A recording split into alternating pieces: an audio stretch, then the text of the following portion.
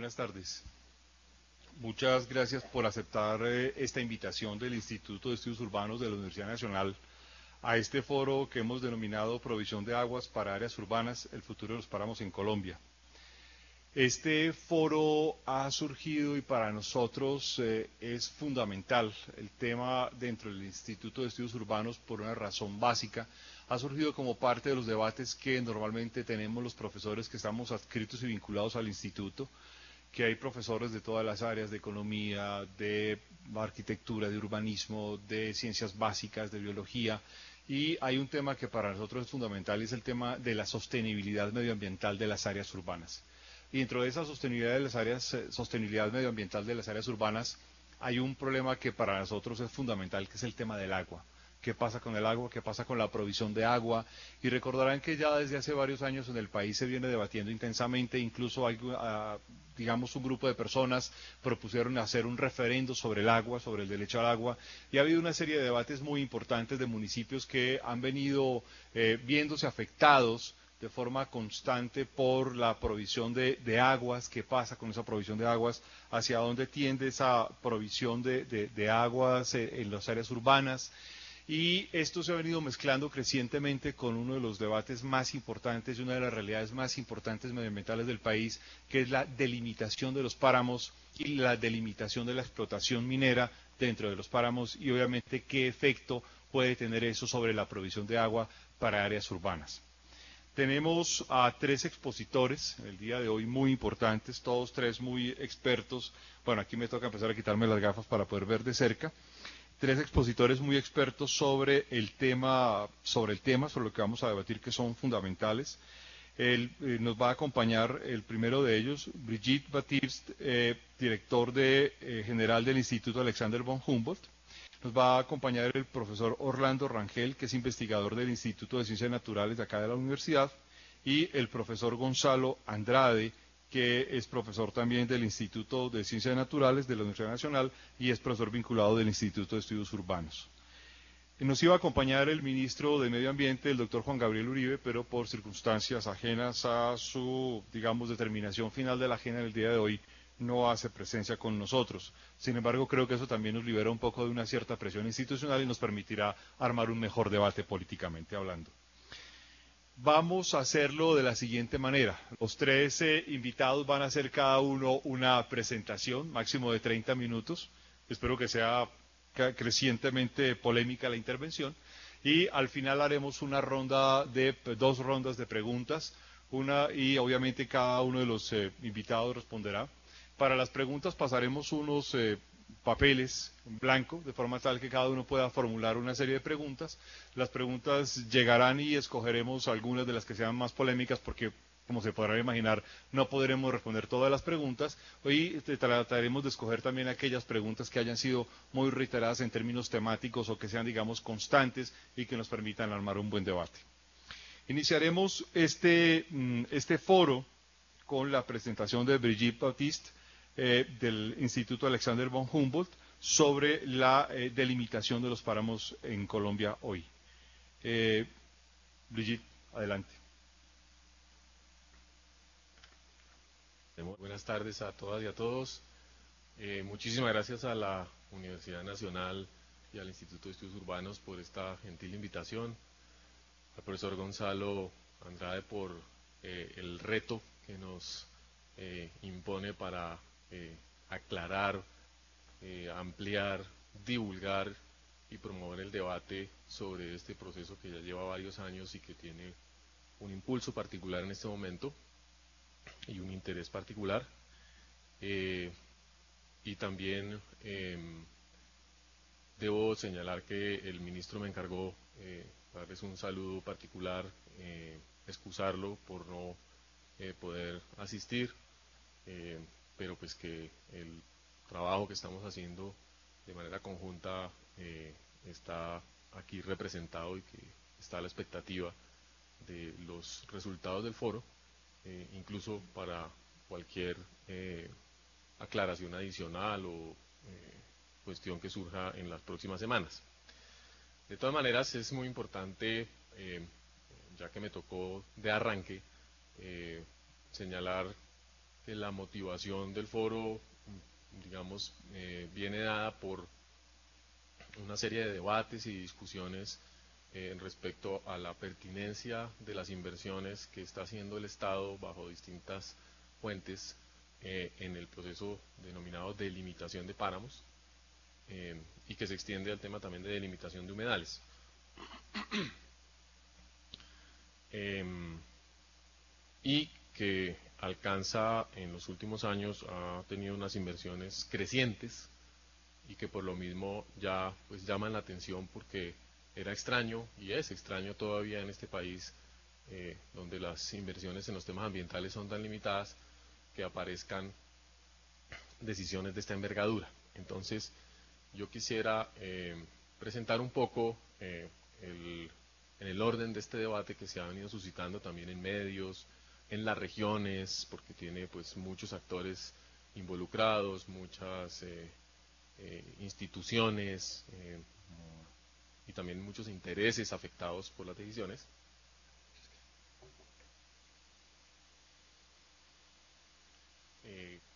entonces es un debate pues que tiene preocupados a muchos eh, y eh, una solicitud y un compromiso también de Estado en el cual el Instituto Humboldt tiene una particular tarea, pero por supuesto no tiene todas las tareas, sino actúa en un concierto institucional que espero saber transmitir eh, a ustedes para, para esas claridades. Entonces, em, en primer lugar, eh, quisiera referirme al, proceso como tal de, eh, limitación y cuál es el papel del instituto. Eh, me acompañan aquí en la sala el doctor Jerónimo Rodríguez, quien es el subdirector de Servicios Científicos y actual director del convenio firmado con el Fondo de Adaptación para la delimitación de páramos y humedales como estrategia de adaptación al cambio climático. Y el doctor Carlos Sarmiento, quien es el coordinador del componente de páramos ya desde hace varios años. Eh, trabaja dentro de lo que llamamos en el Instituto de Proyectos de Ecosistemas Estratégicos.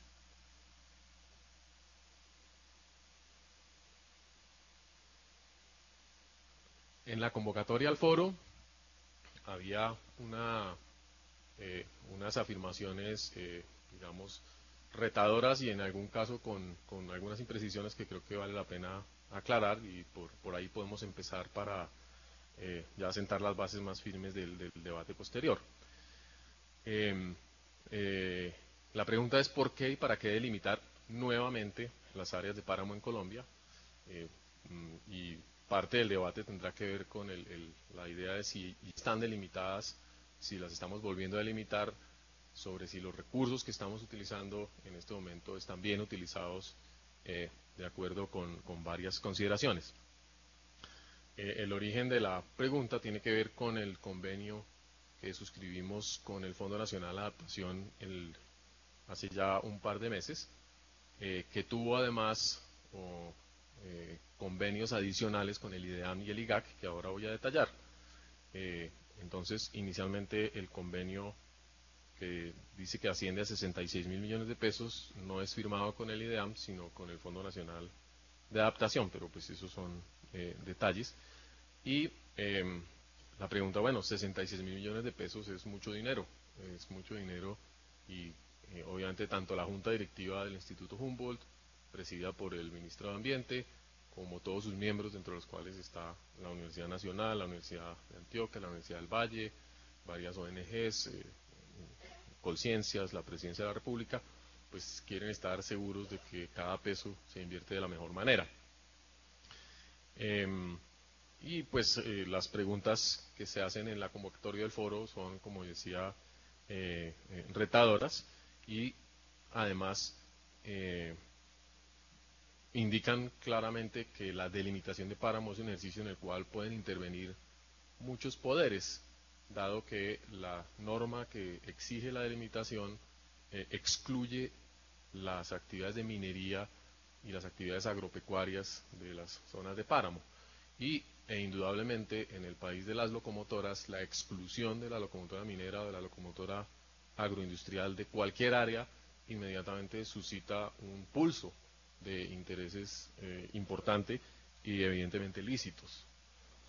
Entonces, habría algunas preguntas que, se, que, surgen y que aparecen en, el, en, la convocatoria sobre el tema de limitación, eh, sobre si ya existían, si estaban delimitados, eh, por lo cual no sería eh, relevante delimitarlos, quiénes son los actores, cuánta es la plata, en qué se va a gastar, cuánto tiempo se va a trabajar, con quiénes, y, e insisto, el tema de si bajo este, si este procedimiento de delimitación es un subterfugio para achicar los páramos, digamos, y entregar eh, recursos o entregar tierras a actividades que eh, no deberían estar permitidas y algunas precisiones adicionales. Eh, en primer lugar, mm, quisiera insistir y tratar de dejar muy claro que la noción de delimitación a la que estamos haciendo referencia permanentemente es un acto administrativo del Ministerio de Ambiente, de la autoridad ambiental, mediante el cual se adopta un ordenamiento particular del territorio de alta montaña. Eh, no es la delimitación de un ecosistema para, eh, digamos, razones eh, académicas o de conservación exclusivamente, una decisión de política muy, digamos, eh, inesperada en la, historia del país y mediante la cual, insisto, se excluyen cerca de 3 millones de hectáreas de alta montaña de actividades económicas. Esa delimitación, además, como acto administrativo, fue ordenada por ley. Una ley que eh, inició su curso en el antiguo Código de Minas, hoy derogado, en el 2001 y más recientemente en la ley del plan de desarrollo. Por tanto, constituye un mandato del Congreso de la República eh, adoptado y que está vigente eh, y bajo el cual eh, se otorgan instrucciones, poderes y alcances tanto al Ministerio de Ambiente como a las corporaciones autónomas como al Instituto Humboldt. En ese proceso o bajo esa determinación de la con necesidad de la delimitación que encuentra el Congreso de la República necesario y la entrega del mandato al Ministerio de Ambiente, eh, lo primero que hace el Ministerio eh, en el año 2007 es adoptar la cartografía a escala 1-250.000 que había elaborado el Instituto Humboldt en conjunto con el IGAC y el IDEAM, eh, con unas razones completamente ajenas a la preocupación de la minería o de la agricultura, eh, y más como un instrumento para las corporaciones autónomas, de manera que se eh, enriqueciera el proceso de planes de manejo de las áreas de páramo que ya había sido eh, oficializado desde finales del siglo XX como una prioridad de conservación del país, de manejo ambiental del país. Todos los páramos de Colombia debían tener un plan de manejo eh, que las corporaciones eh, estaban en, mora de realizar. Algunas lo habían hecho, otras no, y eh, eso fue lo que motivó, digamos, la adopción de la cartografía como la fuente original de delimitación. es decir, es una resolución, es un acto administrativo que dice cuáles serían los páramos y los límites de los páramos con las, digamos, el estado del conocimiento a la época. Em, como dice ahí mismo, al tener efectos legales, este proceso em, afecta derechos de personas eh, que están ubicadas en el páramo, había actividades mineras, había y hay actividades agropecuarias, de infraestructura, represas, em, oleoductos, en fin. Entonces, la ley, para poder eh, tomar decisiones definitivas, tiene que tener en consideración todos estos derechos eh, eh, eh, estos requisitos y por tanto debe convertir esto en la base de un ordenamiento territorial oficial, que todo el mundo sepa, digamos, con claridad a qué atenerse. Esa es fundamentalmente la razón del trabajo técnico. En la actualidad ningún páramo de Colombia ha sido delimitado. No se ha emitido ningún acto administrativo a la escala 1.25.000, que fue la que la ley originalmente previó, y eh, por tanto no podríamos decir que se esté dando cumplimiento a la ley hasta el momento, a pesar de los dos años y medio que, eh, que, vienen después de su emisión. pero sí han sido ya, digamos, oficialmente identificados 36 complejos de páramos con un área de cerca de 2.900.000 hectáreas. Ese resultado es eh, parte del trabajo de síntesis de información hecho por el Instituto, eh, que es el Atlas de Páramo actualizado con la escala 1-100.000. Sin embargo, dado que la norma eh, habla de escala 1.25.000, esta escala 1.100.000 es un paso intermedio, es un instrumento de trabajo que el Ministerio entregó a las corporaciones autónomas y que está ha sido publicado y es de libre consulta en la página web del instituto, eh, en, la, en, la, página web de la ANLA y del Ministerio también, como un insumo eh, para el trabajo de cualquier sector interesado en entender el ordenamiento territorial de la alta montaña. Ese trabajo de pasar o de construir una cartografía a 1.25.000 para eh, mm, basar en ella el acto administrativo es un proceso costoso, es un proceso complicado por la escala involucrada. En muchos casos Colombia no tiene ni siquiera cartografía base a escala 1.25.000.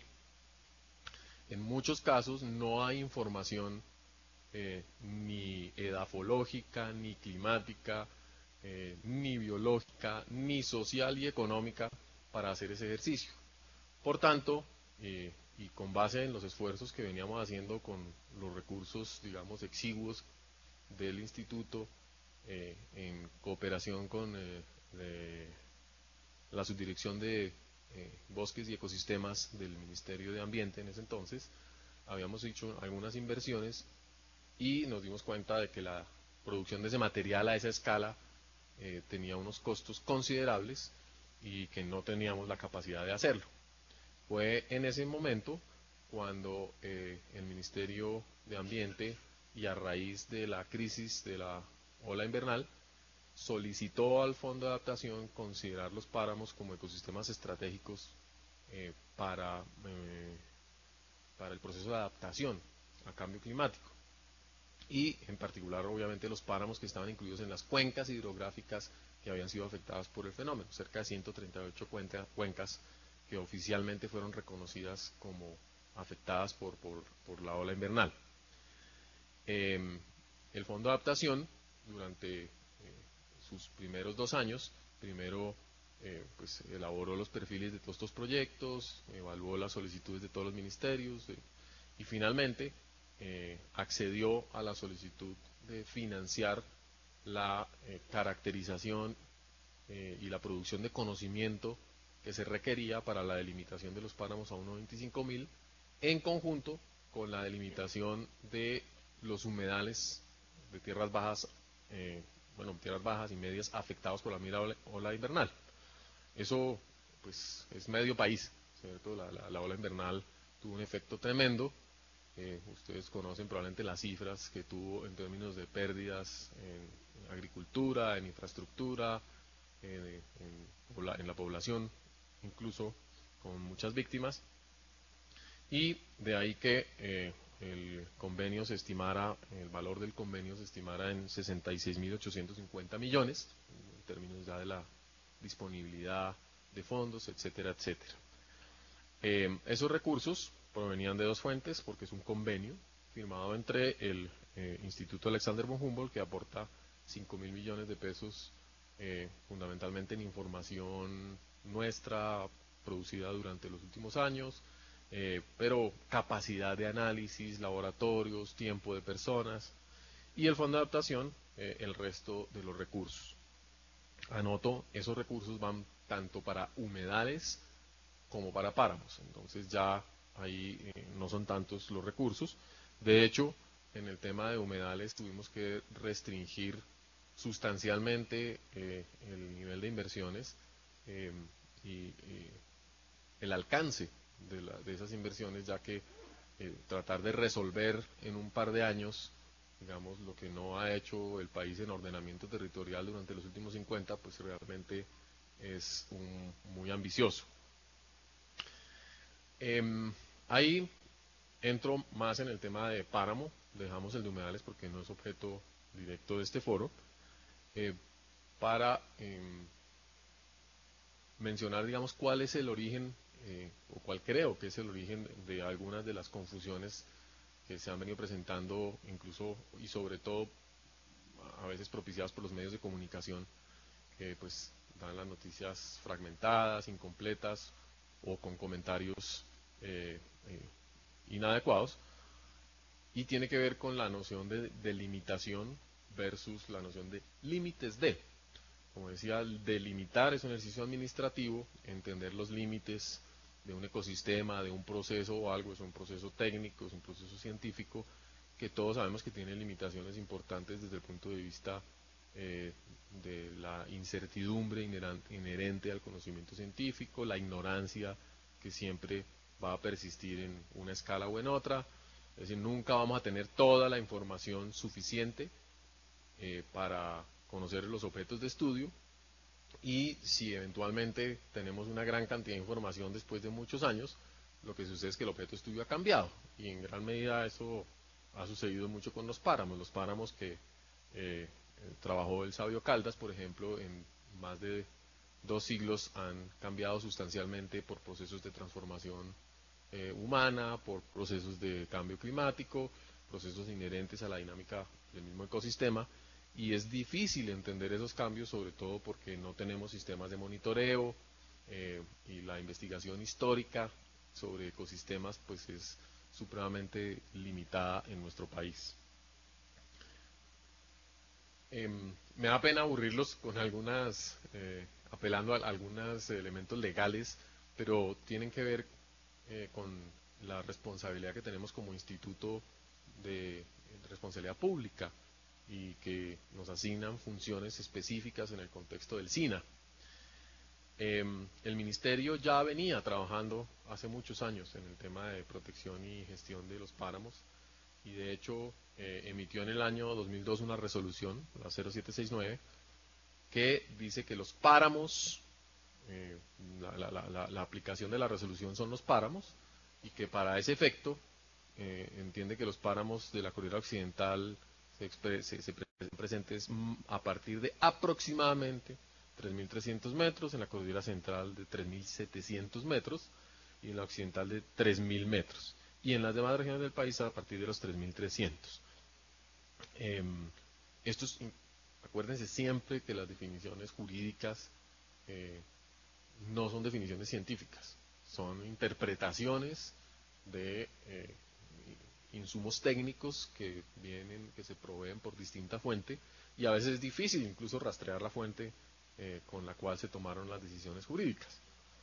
La definición de páramo está en el artículo segundo, y es una definición eh, fundamentalmente eh, que, incluye elementos de la vegetación, sobre todo, y algo que tiene que ver con recursos hídricos, ríos, quebradas, arroyos, turberas, pantanos, lagos y lagunas, y cierto tipo de vegetación. Y al mismo tiempo dice que comprende tres fajas, subpáramo, páramo y superpáramo. Algunas personas han dicho hablan del páramo propiamente dicho, eh, para eh, decir que el páramo empieza muy arriba, pero en la resolución eh, se dice que estas tres franjas están comprendidas dentro del concepto de páramo. Y reconoce que la intervención antrópica ha sido un factor de alteración en esa distribución altitudinal, por lo cual incluye en la definición los páramos alterados por el hombre. Ese es un debate digamos, científico muy interesante y es en qué momento un ecosistema que va siendo alterado eh, pierde su identidad, sus características funcionales, su integridad y deja de comportarse como ese ecosistema, si se vuelve otra cosa o si puede revertir a su eh, condición funcional eh, precedente. La resolución de que adopta la cartografía, ya se las mencioné, y tiene un parágrafo importante y es que cualquier ejercicio posterior a la adopción de ese atlas de páramo eh, no puede ir en detrimento del área ya eh, señalada, del área prevista o del área identificada como área de páramo, por lo cual la delimitación se entiende como un, un proceso de determinación de detalle progresivo, es decir, eh, de disminución de la incertidumbre respecto al límite administrativo que debe adoptarse. Y es normal, en una escala 1-250.000, una línea tiene en el territorio un grosor de 250 metros planos, que si hay una pendiente del 100%, pues multipliquen por el coseno del arco y eh, pueden ser 400, 500 metros y en, una, en un escarpe perfectamente en 250 metros puede haber una variación de 800 metros altitudinales. Entonces, esos son eh, problemas importantes administrativos. Ecológicamente hablando, todos podríamos trazar una línea diciendo eh, el escarpe por abajo, por arriba, con un criterio, bueno, con otro. Em, por tanto, es fundamental para el proceso administrativo tener unos criterios claros, unos criterios en los cuales hubiese elementos mm, de consenso y en la medida en que hay elementos de consenso, indudablemente también se añaden elementos de imprecisión. Eso es un elemento normal en la epistemología de las ciencias. Entonces los criterios de limitación eh, los trabajamos durante los años 2010 y 2011 y se publicaron en esa cartilla que ustedes ven a su derecha, la guía divulgativa eh, por el profesor, coordinado por el profesor David Rivera, exalumno de la universidad, eh, uno de los ecólogos más importantes en ecología del paisaje del país.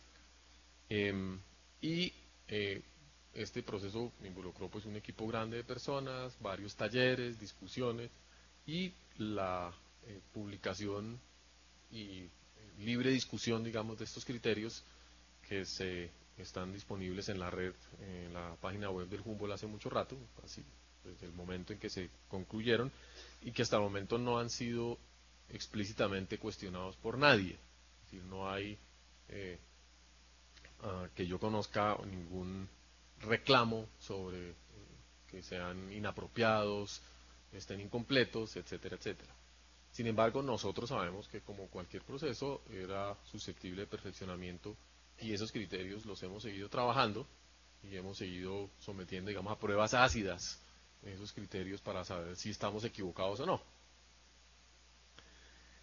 Em, en ese proceso, el instituto, durante el año 2011 y 12, entonces después de tener los criterios, procedió a hacer la actualización cartográfica de los páramos del país. Y mediante esa actualización cartográfica, obviamente por el cambio de escala, apareció se hizo evidente que había un millón de hectáreas que no estaban registradas en el atlas anterior.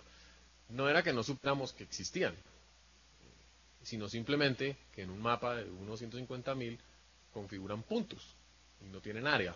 Cuando se amplía, se aplica la lupa, inmediatamente páramos como el de Sonsón en Antioquia, eh, páramos de 7, 8 mil hectáreas ya son visibles.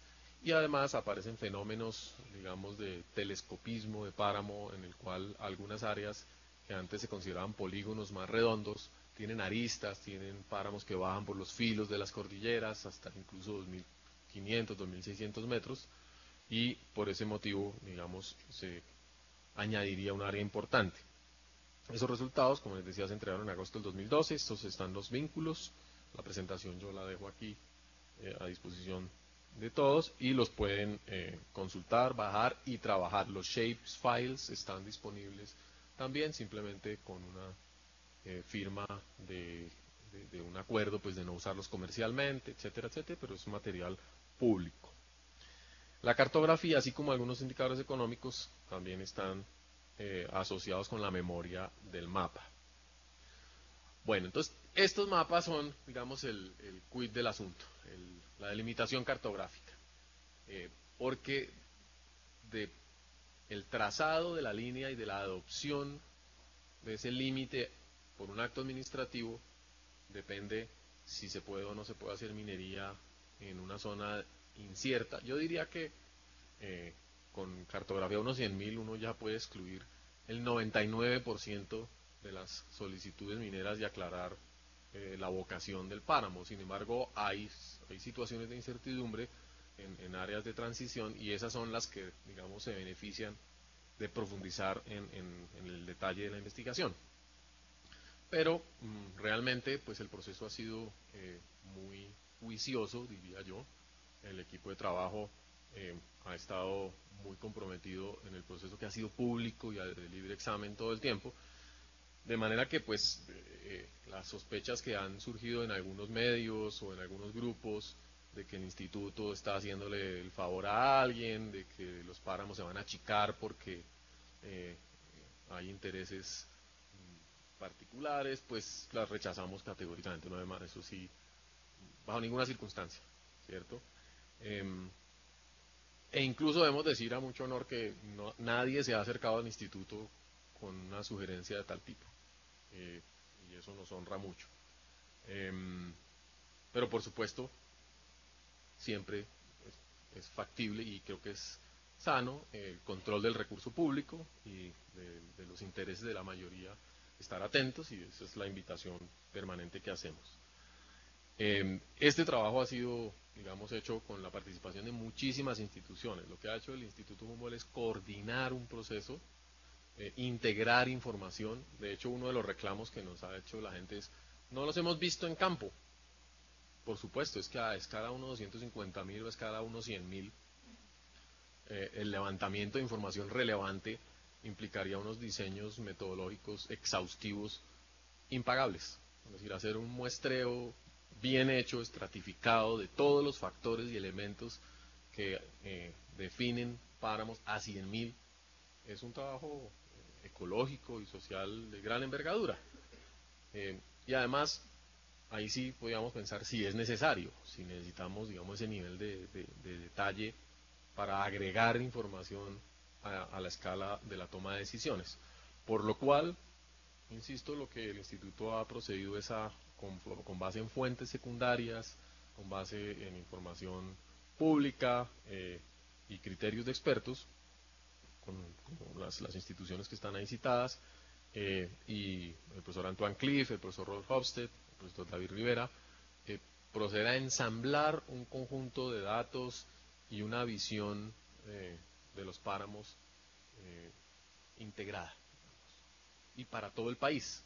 Digamos, eh, si bien gran parte de los, digamos, de los intereses y del ruido de los páramos ha tenido que ver recientemente con eh, las decisiones de limitación en Santurbán por el interés minero en la región, realmente los criterios y el proceso está todo construido de manera completamente autónoma y no para resolver el problema de Santurbán. Eso es muy importante mencionarlo porque pues la decisión, eh, esas, esos, digamos, esos, los problemas que aquejan, por ejemplo, a una región tan particular como los municipios de Betas, California, o eh, en el Tolima, o en otros páramos, son incluso de carácter vedal, son cosas que eh, se expresan a, en, en, áreas de 200 a 300 hectáreas, que, insisto, son puntos en, una cartografía incluso a unos 250 mil. Entonces, eh, esos temas no van a, decidirse con este proceso de delimitación en absoluto. Em, pero por supuesto, insisto, y, hemos estado siempre abiertos a ese debate y el libre examen eh, por parte de la academia, por parte de la prensa, por parte de la ciudadanía sobre lo que hacemos. Eh, decía el tema de Santurbán porque pues hace un par de años el instituto em, emitió un concepto negativo sobre la licencia ambiental em, que había solicitado la empresa Greystar en el municipio, pero un concepto que había sido solicitado por aparte, eh, por, por, el Ministerio de Ambiente, eh, y no dentro del proceso de limitación. Entonces ahí, em, digamos, hicimos hubo convergencia de fuerzas en general entre toda la academia, la ciudadanía, y eh, estuvimos de acuerdo en que eh, el otorgamiento de esa licencia en las condiciones que entonces se aspiraba a obtenerla no era conveniente. Eh, también hemos hecho un esfuerzo grande de divulgación en el tema de los páramos, publicamos el, no, el atlas, digamos que puede ser un poco frío y abstracto, sino el gran libro de los páramos, eh, con el apoyo del, fondo Jeff eh, para la biodiversidad. El Gran Libro de los Páramos es una edición en la cual participaron decenas de profesores eh, de aquí de la universidad, recuerdo al profesor eh, Orlando Vargas, eh, quien también es un gran conocedor, digamos, de los ecosistemas de alta montaña y sobre todo de los procesos sucesionales de recuperación eh, en esas áreas. Y el libro lo distribuimos de manera gratuita en 400 escuelas rurales y en todas las corporaciones y autoridades regionales y está disponible también en la página web del instituto como un e-book, un libro electrónico que ustedes pueden bajar, utilizar, distribuir de manera libre. Eh, ya entrando un poco ya en la, síntesis de este trabajo entonces, diríamos que el, convenio que hemos firmado con el Fondo Nacional de Adaptación realmente lo que considera es la, es la, necesidad de integrar conocimiento. Eh, y si hay que producir conocimiento, ese conocimiento eh, no lo desarrolla el Instituto Humboldt directamente, sino lo desarrollamos como en casi todos los espacios de trabajo en, asocio con eh, redes, con instituciones académicas e investigadores, ya que no tenemos el alcance, digamos, de estar atentos a todos los detalles, a todos los sitios y a todos los procesos. la labor del Humboldt es la de integrar conocimiento y proponer una lectura de la realidad para la toma de decisiones. En este convenio eh, contamos con la participación del IGAC en la producción de cartografía base. Eso es un aporte gigantesco al país, porque la cartografía base no solamente sirve para el proceso de limitación de páramos y humedales, sino para todo, para la planificación en general. El IGAC eh, también hará unos estudios de suelos que hacían falta a esa escala. El, país normalmente está estudiado a escala 100.000, es con la cual hemos decidido casi todo. Em, y en este caso bajará la resolución de los estudios a 25.000 eh, y este componente del convenio es de aproximadamente 22 mil millones de pesos. Es decir, ya ven que la tercera parte de los recursos se transfieren directamente al Instituto Geográfico para el cumplimiento de esta meta, que además siendo meta del plan de desarrollo es para ayer, como siempre. En tercer lugar, cuenta con la participación del IDEAM, como les decía, quien eh, producirá información sobre el estado de las coberturas eh, eh, y del uso de la Tierra a partir de imágenes satelitales a escala 1.25.000, así como información climática y sobre todo, yo creo que lo que más nos interesa es entender la dinámica de inundaciones a escala 1.100.000. No, ni siquiera estamos intentando llegar a 1.25.000 eh, por la complejidad. Y para esto, el, convenio definió un monto de cerca de 6 mil millones de pesos. Es decir, ahí tenemos otro 10% eh, para el trabajo interdisciplinario.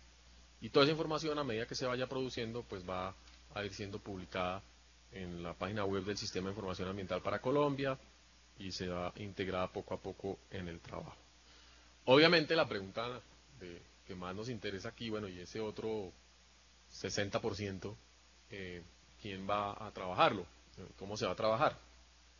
Una parte la va a utilizar el instituto para administrar el proceso, coordinar y producir los productos de integración eh, sintéticos finales. Eh, otra parte la va a utilizar para fortalecer procesos de investigación eh, temáticos específicos en los cuales ya estábamos trabajando en algunas regiones del país y en algunos casos particulares. El instituto lleva mucho tiempo con ventanas de trabajo, por ejemplo, en el páramo de Rabanal, en el páramo de Guerrero, en el páramo de Santurbán. Entonces vamos a continuar trabajando ahí. Y el resto eh, es una bolsa, si mal no estoy en cuenta, de cerca de 15 mil millones de pesos. Después me regañan por decir las cifras mal, pero está escrito, entonces no hay problema. En, cooperación, en convenios de cooperación, un componente importante de fortalecimiento de colecciones biológicas sabemos que gran parte del problema que tenemos en Colombia es que nadie financia eh, la curaduría, ni nadie financia eh, la transferencia de datos e información de las colecciones hacia sistemas de información. Em, tengo entendido que el presupuesto del ICN en términos de, curaduría es como de un millón de pesos al año. Es muy simbólico. Entonces, claramente eh, necesitamos fortalecer nuestras colecciones. Eh, si el ministro estuviera aquí diría, hoy el presidente o mañana está firmando los decretos de colecta, permisos de colecta y registro de colecciones que nos tenían atormentados los últimos cinco años y que habían significado la detención de la investigación en muchos casos. Eh, espero que realmente los podamos ver, me hubiera gustado mucho traerlos acá. Eh, y son decretos que facilitan la vida de todos. Entonces, el tema de las colecciones esperamos eh, poder realmente invertir en ello. obviamente, habrá regiones del país que requieren atención directa para completar información, eh, análisis de vacíos de información, habrá, dirán eso, pero en gran medida eso tiene que ver con humedales. Creemos que los páramos eh, están bastante bien conocidos, están bastante bien conocidos.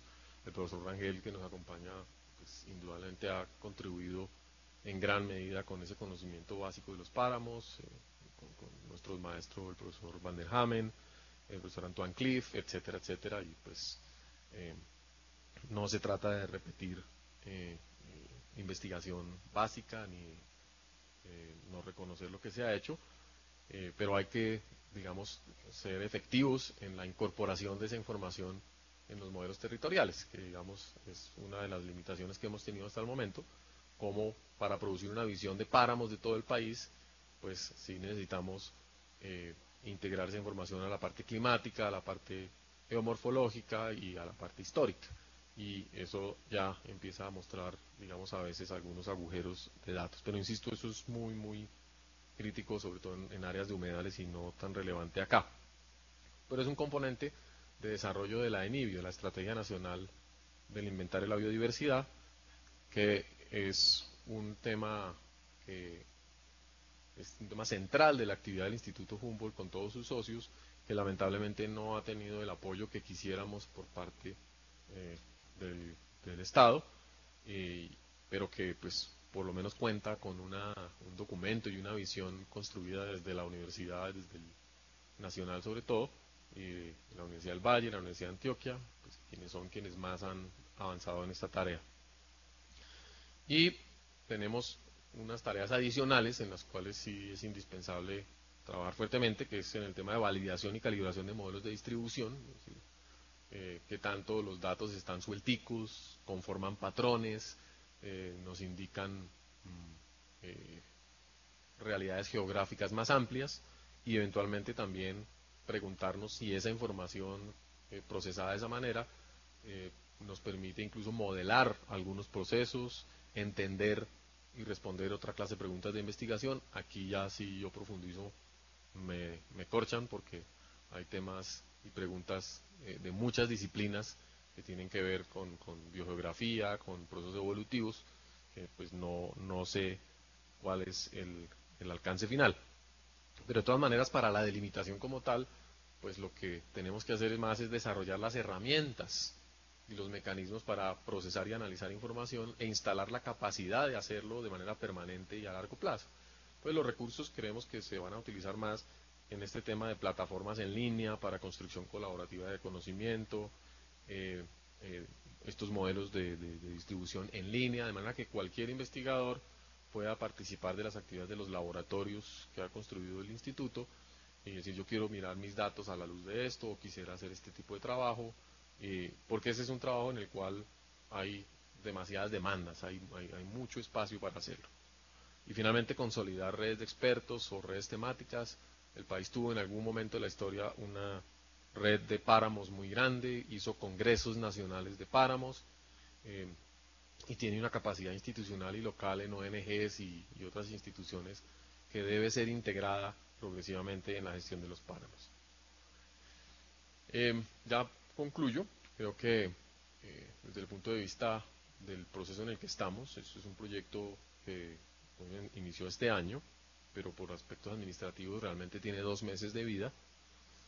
Em, trabaja temas biológicos, ecológicos, sociales y culturales. El marco de la política de biodiversidad del país es integrador también, no solamente biológico, sino con estos elementos em, em, económicos y sociales, y realmente no siempre sabemos hacerlo. La, digamos, el reclamo de la integración del, de los intereses de las comunidades rurales, de los pequeños campesinos o pequeños productores, o de los intereses agroindustriales, por ejemplo, de los paperos, de cómo se ve eso en el paisaje, cómo se ve eso en las dinámicas ecológicas, eh, eso requiere estudio, requiere ir más allá de la formulación y del voto de buena voluntad.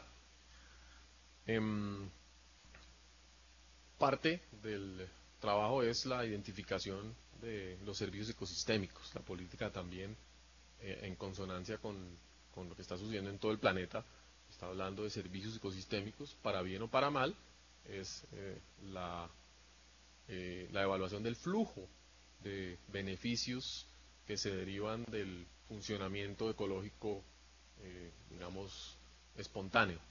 Y flujo de beneficios que captura la sociedad y que los incluye en su economía sin ningún reconocimiento, son gratuitos, es el trabajo de la naturaleza, por decirlo de alguna manera, y que por eso estamos en este foro, en el tema de los páramos tiene que ver con la regulación hídrica. Más del 70% de los colombianos dependen en mayor o menor grado del buen funcionamiento de los páramos para suplir sus cuencas hidrográficas eh, y programas de abastecimiento. Eh, y eh, la correlación entre deterioro de los páramos y deterioro del servicio ecosistémico es evidente, pero no es fácil de medir. No sabemos qué tan, qué, tan deteriorado un páramo deja de prestar ese servicio. Y eso, hay un tema de umbrales funcionales importante, un tema de restauración de las calidades del páramo, en fin, una visión eh, ecosistémica funcional que no hemos construido porque no es fácil y requiere recursos importantes. Por otra parte, eh, y no lo mencioné al principio, el papel de las corporaciones autónomas es fundamental. La misma ley dice que la delimitación, es decir, el acto administrativo que emite el ministerio, se hace con base en información proveída por las corporaciones autónomas. Las corporaciones autónomas tienen y reconocen debilidades técnicas importantes en su mayoría. Hay unas pocas corporaciones que eh, tienen esa capacidad, en la mayoría de los casos acuden a consultores privados y muchos de nosotros hemos sido consultores de corporaciones, incluso en temas de caracterización de páramo, eh, porque las corporaciones no tienen esa información.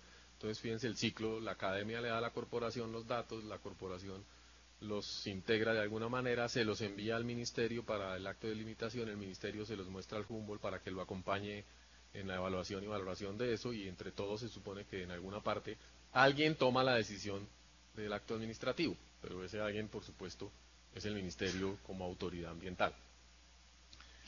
Eh, no es que nos guste la noción de delimitación como un acto administrativo.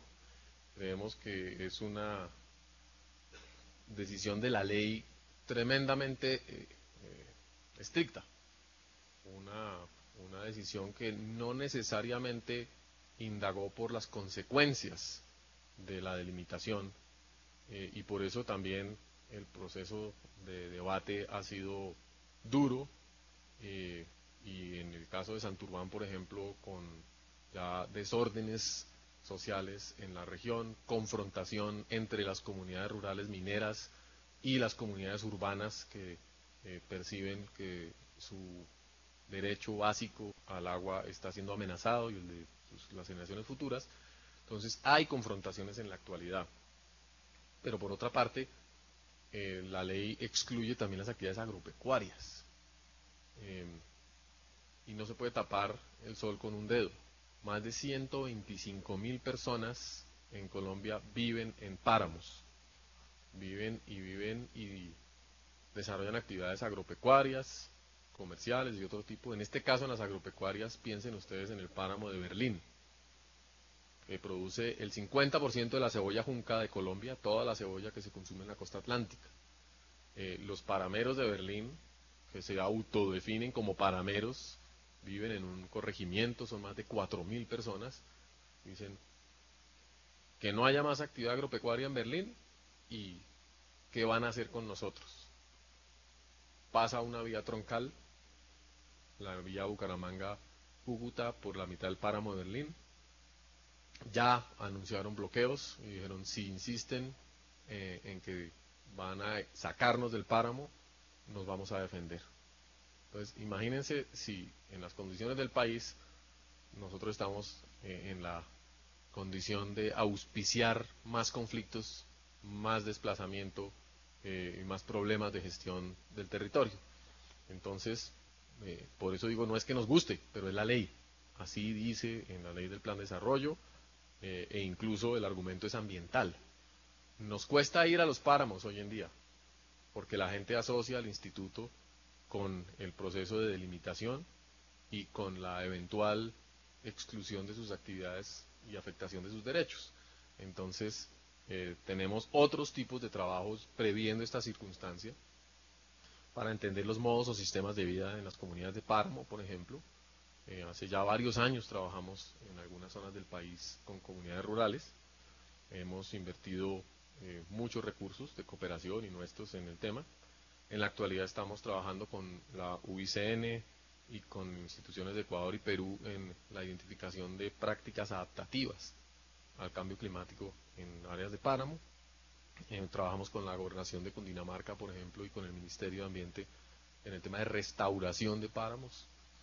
Preguntas, ¿quién va a restaurar los páramos? Si, no hay parameros, eh, ¿quién va a hacer ese trabajo? Y eh, de ahí para adelante, pues obviamente surgen una gran cantidad de inquietudes sobre eh, la gestión que se va a hacer de esos territorios. La ley concluye otorgando a las corporaciones el mandato de zonificar y manejar los páramos de Colombia. Eh, creemos que la mejor manera de hacerlo, independientemente de cuál sea la decisión administrativa del límite, es con eh, información y conocimiento de calidad. Y más, ese ha sido, esa ha sido la motivación para todo el trabajo que estamos haciendo, que, el, que la definición de la línea, por decirlo así. Eh, el acervo de eh, información, cartografía, modelos que se ha hecho, creemos que es, no se hubiera obtenido en otras condiciones o en otras circunstancias. Y eso realmente es lo que amerita las inversiones eh, que no son en modo alguno gigantescas o desproporcionadas para eh, el conocimiento y la delimitación de los ecosistemas de páramo. Em, con eso espero haber mostrado un poco el panorama actual del, proceso, em, haber planteado las principales conexiones y desconexiones que hay entre la construcción de conocimiento y la toma de decisiones, tanto a nivel político como desde el punto de vista jurídico, los retos a los que estamos enfrentados y por supuesto la invitación a que hagamos de esto un ejercicio eh, colectivo para defender los páramos de Colombia. Muchísimas gracias.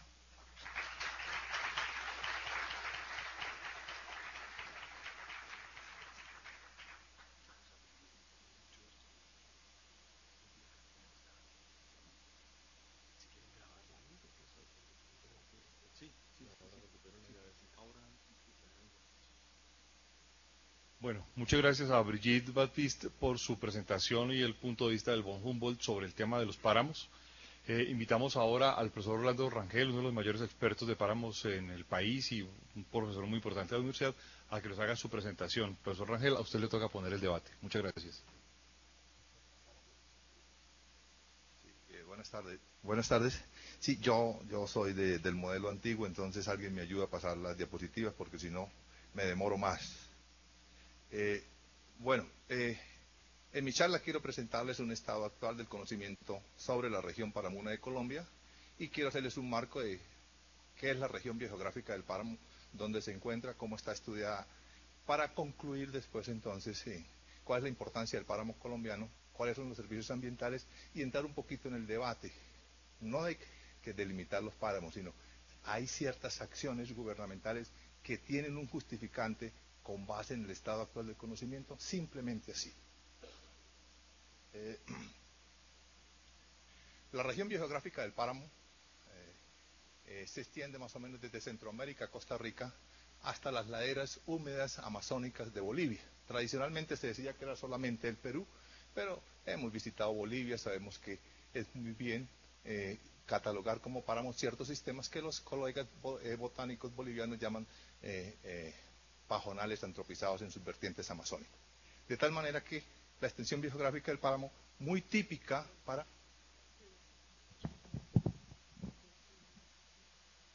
Muy, muy típica para esta región, entonces presenta una serie de atributos que vale la pena tenerlo entonces como marco de referencia. Bueno, en mi charla, aprovechando que alguna vez unos, educadores del llano quisieran que hiciéramos un, curso especial con ellos y me hablaron del pretexto, el texto, el contexto, el posttexto, me acordé y les hice esta diapositiva. Eh, yo quiero tener de pretexto los ambientes del páramo en la región biográfica, como es el clima, la riqueza, la diversidad y qué significa el páramo colombiano. El texto es el páramo colombiano, como, se ha estudiado y cuál es el estado actual del conocimiento. Y el contexto y el posttexto, los usos sobre ese, que, se están, que se hicieron sobre ese páramo, las amenazas, la presión antrópica, es decir, las manifestaciones del cambio climático, eh, los límites naturales y eh, cuáles son las decisiones entonces eh, del futuro sobre ese páramo. Tradicionalmente, como hemos venido estudiando la biodiversidad en este país, es una escuela que fundó el profesor Van der Hamen por los años 50 y continúa de una manera muy simple, decimos que es un nivel casi que taxonómico. Nivel alfa, es decir, el inventario de las especies con área de distribución en áreas paramunas del país, tanto especies vegetales como animales. No todos los grupos, sino ciertos grupos en los cuales hay consenso a nivel mundial. La diversidad beta, que es el inventario de las comunidades vegetales, en donde ciertas manifestaciones ecológicas clásicas, la dominancia, la densidad, la abundancia, permite relacionar y sacar conjuntos comunitarios en donde se expresan estas eh, eh, definiciones.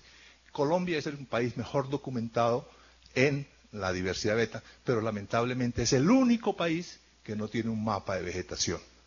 Y la diversidad gamma es la diversidad de ecosistemas, en donde utilizando la diversidad alfa, la diversidad beta y las características del entorno físico el clima, el suelo, la geología, la geomorfología, la historia del ambiente, entonces definimos los ecosistemas. En la diapositiva aquí a la derecha, una foto tomada desde el cráter del volcán Galeras, pues nos ilustra sobre las subzonas, franjas o parte de la región Paramuna. Está a continuación del límite de de la región andina, la que tiene tanta vegetación boscosa. Y la parte baja se llama el páramo bajo o subpáramo, la parte media, el páramo de pajonales o el páramo de gramíneas o el páramo propiamente dicho, y la parte alta, el superpáramo, casi en contacto con la nieve. Pero lógicamente, todos los macizos no tienen nieve ni tuvieron nieve, porque no hubo ningún mago Berlín que hizo todas las montañas iguales. Entonces, esos son producto de procesos orogénicos y las montañas todas son desiguales. ¿Cuáles son las características del páramo en la gran región biogeográfica? El clima. En la diapositiva está alguna eh, eh, información sobre la marcha anual de la precipitación. En Costa Rica, que son páramos húmedos, entonces casi todas las localidades tienen montos por arriba de los 2.200, 2.500 metros. Eh, y su régimen de distribución es típicamente unimodal biestacional. Es, es decir, el régimen que tenemos nosotros aquí en la región llanera, parte de la región amazónica y en los sistemas cercanos a los mares, al Océano Atlántico, al Mar Caribe. Es decir, es un clima muy, mucha influencia de esta parte. En Venezuela tenemos entonces una variedad de páramos desde el punto de vista de la precipitación, páramos secos como Trujillo, páramos húmedos como La Guada y Mérida. En el Ecuador tenemos páramos semihúmedos, secos como Cotopaxi, y en Colombia, pues tenemos toda la amplia gama, desde páramos secos, semihúmedos, húmedos, muy húmedos, pluviales, etc. Y ya hacia el sur, cuando estamos entrando en los límites de la siguiente región biogeográfica, en la alta montaña, que es la Puna, la precipitación desciende drásticamente.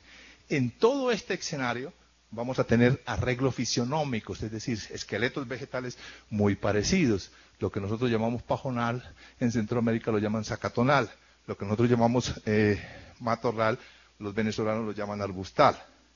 Los suelos en esta alta montaña en buena parte son de origen volcánico, es decir, el material parental sobre el cual se han desarrollado los suelos recientes son cenizas volcánicas. El proceso de utilización de la oferta ambiental sigue más o menos los mismos patrones, las pajas, eh, la, madera de los bosquecitos eh, que se utilizan. Y en todos se cumple eh, algo axiomático. el modelado actual, es decir, la geomorfología, es herencia de los procesos del último glacial. Y se acuerdan ustedes que el último glacial empezó hace 116.000 años, culminó hace 13.000, 14.000 para algunos, con unas épocas de más fuertes fríos, de fríos intermedios, etc. Bueno, ¿cómo es la distribución de la riqueza, es decir, la oferta ambiental en toda esa región biogeográfica del páramo? En la diapositiva están los datos más recientes. hace un mes presenté una conferencia parecida, pero más netamente botánica, en el Congreso Venezolano de Botánica, y este material fue preparado para ese objetivo. Entonces, en la diapositiva está la distribución de la riqueza según familias botánicas por países. Costa Rica, el número de familias, Panamá, Colombia, Venezuela, Ecuador, Perú. Y aquí el número, eh, las familias más ricas. Eh, entonces, las familias más ricas son las asteráceas, la familia de los frailejones, de los pompones, las poáceas, los pastos. Eh, las 10 familias más ricas en toda la región biogeográfica del páramo tienen una distintividad que es algo que nos tiene que servir de mucho alerta en cuanto a planes de conservación. Se concentra la riqueza en muy pocas familias, es decir, como el viejo adagio de los economistas, ¿no? No hay que poner todos los huevos en la misma canasta, pero aquí sí están, ¿ok? A nivel genérico, es decir, a los linajes, eh, la distribución también está desde Costa Rica hasta a Perú. Y aquí, a manera de comparación, un trabajo reciente de eh, unos investigadores checos y norteamericanos sobre la flora de Okay. Esta es la riqueza a nivel de géneros. Algunos géneros como Monticalia, Lupinus y Tienen una alta representación en lo que llamamos el núcleo de los páramos, que es Colombia, Venezuela y Ecuador. En cada uno de ellos está el número de especies que se tiene registrado, el número de géneros. Y como ustedes ven, pues hay una disimetría total. Colombia, pues, abarca casi el 60% de la concentración de esa riqueza en el páramo. Eh, el patrón de concentración de las especies pues sigue una, o muestra una línea que va entre el 21 y el 30% de expresión en los géneros más ricos. Y hay una definición con un, con un grupo también que tiene más expresión en el sur. La riqueza de plantas con flores entonces para esa zona biogeográfica del páramo se muestra en la diapositiva por países. Y a manera de comparación, pues incluimos la superficie del páramo de acuerdo con Lutein y con otros, y con otros colegas que han trabajado en el páramo. Aquí están los países, aquí está el número de familias, los datos nuestros, los datos de Sklener, el número de especies, los datos nuestros, los datos de Sklener, y eh, luego un consolidado. Nosotros en el 2000 más o menos dijimos que eran unas 4.500 especies para toda la región biogeográfica del páramo. Gracias a colegas que han leído y han criticado, pues se ha reducido el número. Eh, y sus colaboradores eh, eh, mm, sitúan más o menos en 3.600 el número de especies para todo el páramo.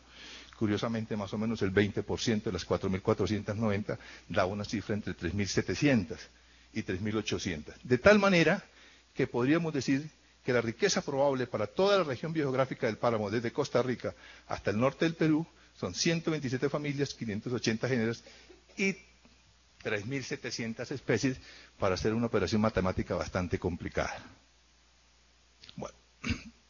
En biodiversidad y en conservación casi siempre se nos critica, es que ustedes dicen que son muy ricos, pero a veces no es, importante, no es tan importante ser tan rico, sino qué es su riqueza eh, solamente la tiene usted. Entonces eso en términos de conservación se llama la distintividad, es decir, las especies propias, especies de área de distribución restringida o especies endémicas.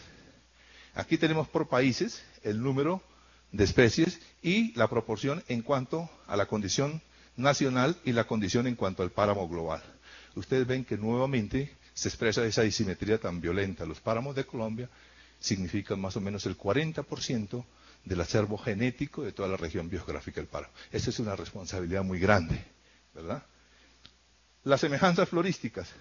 Entonces hay mucha discusión en la literatura de que si la, influencia de, los elementos florísticos del norte o del sur, etc. Sin entrar en esas profundidades, simplemente hicimos un análisis de decir, bueno, ¿cuáles son las semejanzas con base en las listas? ¿Ok? Y aquí están las semejanzas. Colombia y con Venezuela eh, comparte el mayor número eh, de especies, 16%, luego sigue Colombia y Ecuador.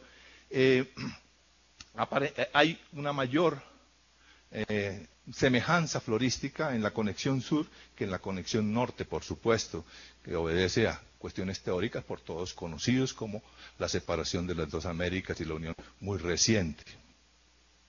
Bueno, este es el contexto y esa es la región biogeográfica del páramo y los datos en la parte vegetal nos están mostrando de que eh, somos privilegiados en el concierto, más o menos tenemos el 60% de toda la flora y de ese 60 el 40% solamente está en nuestro país. Ahora, la riqueza de la flora paramuna de Colombia, lo mismo. Más o menos tenemos una extensión de área paramuna que se fluctúa entre 16 y 18 kilómetros, otros dicen que 19, etc. Bueno, los números más conservadores, eh, pongamos 16 mil eh, o 17 mil kilómetros cuadrados, eh, el límite altitudinal puede, eh, variar entre 3.100 y 4.400. Las localidades en el libro del 2000, más o menos eh, mencionamos 1.252 localidades. Y el número de especies de restringidas, más o menos 1.500. Y la riqueza, otra vez, está, según las familias botánicas, Asteracea es la familia de los frailejones, los pompones, la poacea la familia de los pastos, Melastomatácea la familia de los niguitos, la familia de los quiches, eh, la familia eh, de los totes, la familia del café, etcétera. Estos son los valores. Y a manera de comparación, los valores que cita Sklenar. A, diferencia de lo nuestro, eh, la mayoría de los tratados solamente dicen las cifras, pero no tienen un anexo donde comprobarlo. Yo soy de los que siempre prefiero hablar con tablas y con anexos y decir dónde pueden encontrar la información quien la quiera controvertir. Entonces, eh, cuando hacemos otra vez el patrón biogeográfico, eh, fitogeográfico, comprobamos entonces que en pocas familias, es decir, en 20, está concentrada cerca del 70-80% de la riqueza. Eh, la riqueza a nivel de género está expresada en la diapositiva a la derecha y se ve entonces expresión máxima, por ejemplo en Colombia, de algunos géneros, algunos linajes como Speletia, Diplostefium, Epiderm.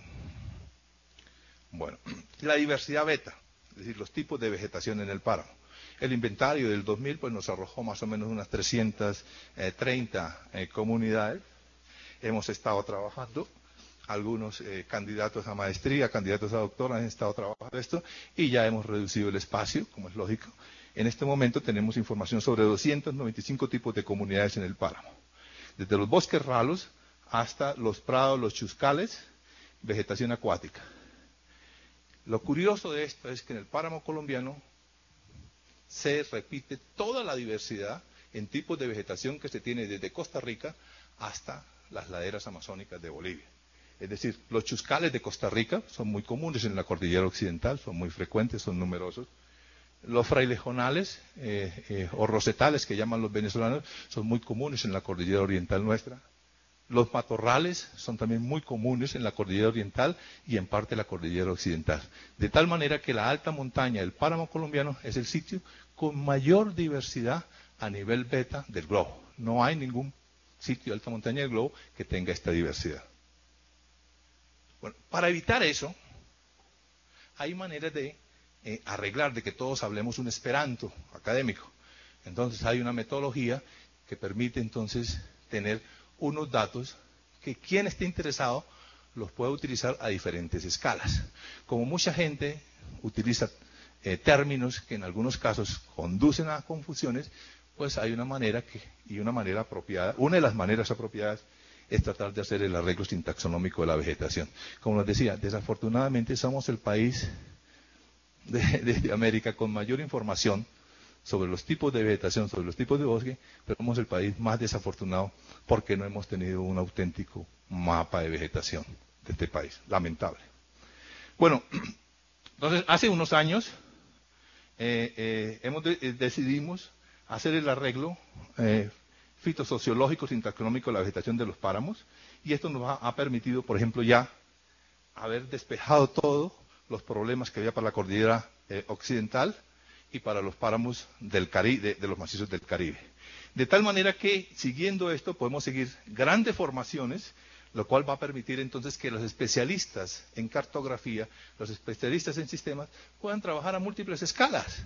Entonces, si quieren una escala muy amplia, trabajan con clases o con órdenes. Si quieren escalas detalladas, trabajan con asociaciones. Muy fácil. Yo soy el más lego en esas cosas, pero algo le he aprendido a quienes manejan eso. Entonces, lo que llaman ellos ventanas, pues lo pueden hacer cuando quieran con las asociaciones están muy definidas. Y lo más importante de esto es que es una metodología basada en las especies.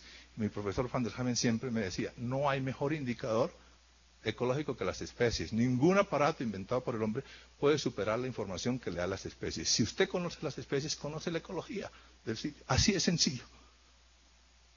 Para la región Caribe, los páramos de Santa Marta, especialmente en el costado norte y un poquito en el costado sur, y para la serranía de Perijá, ya se organizaron en este sistema. Eh, eh, Jairo Pinto hizo parte de su tesis de maestría y arregló todo eh, el arreglo, hizo todo el arreglo fitosociológico, definió cuántas grandes formaciones existían, cuántas subformaciones y cuántas asociaciones. Lo mismo lo hizo para para la Sierra Nevada de Santa Marta. Y lo fácil de esto es que permite encontrar las similaridades, porque con las especies no nos damos lugar a equivocaciones. Luego llegamos a la delimitación de ecosistemas. Casi siempre se decía que eso era imposible y se sigue utilizando una definición gaseosa y un poco, en mi concepto y sin ánimo de ofender a nadie, ¿no? Y bastante eh, eh, gaseosa para tratarlo de ecosistema. Nosotros seguimos el planteamiento de Molly Dumbois, eh, Walter y Van der Hamen, propuesto por las Naciones Unidas en la cartilla de 1980 para trabajar ecosistemas tropicales. Y entonces, con la sencilla definición que les di la vez pasada, pues hacemos la definición de ecosistema. Y para definir, y mi querida directora, delimitar el páramo de la, de la serranía de Perijá, utilizamos esta información, utilizamos la, escala, la cartografía 1.25.000 y hicimos todo. La verdad es que nosotros no somos autoridad. toca a la autoridad regional y a la autoridad nacional tomar la decisión, pero eso se hizo desde el 2005. Eh, entonces definimos los ecosistemas, Aquí está todo lo que es la parte alta de montaña y serranía de Perijá, eh, con cartografía temática, y aquí están los diferentes ecosistemas. Lógico, en, esta metodología los ecosistemas tienen un nombre, y ese nombre responde al nombre del esqueleto vegetal, de la formación. Entonces, no es que sea el único, pero sí es una medida muy amable porque va a permitir entonces después mirar verdaderamente la similitud o la similaridad entre los diferentes ecosistemas en las regiones colombianas.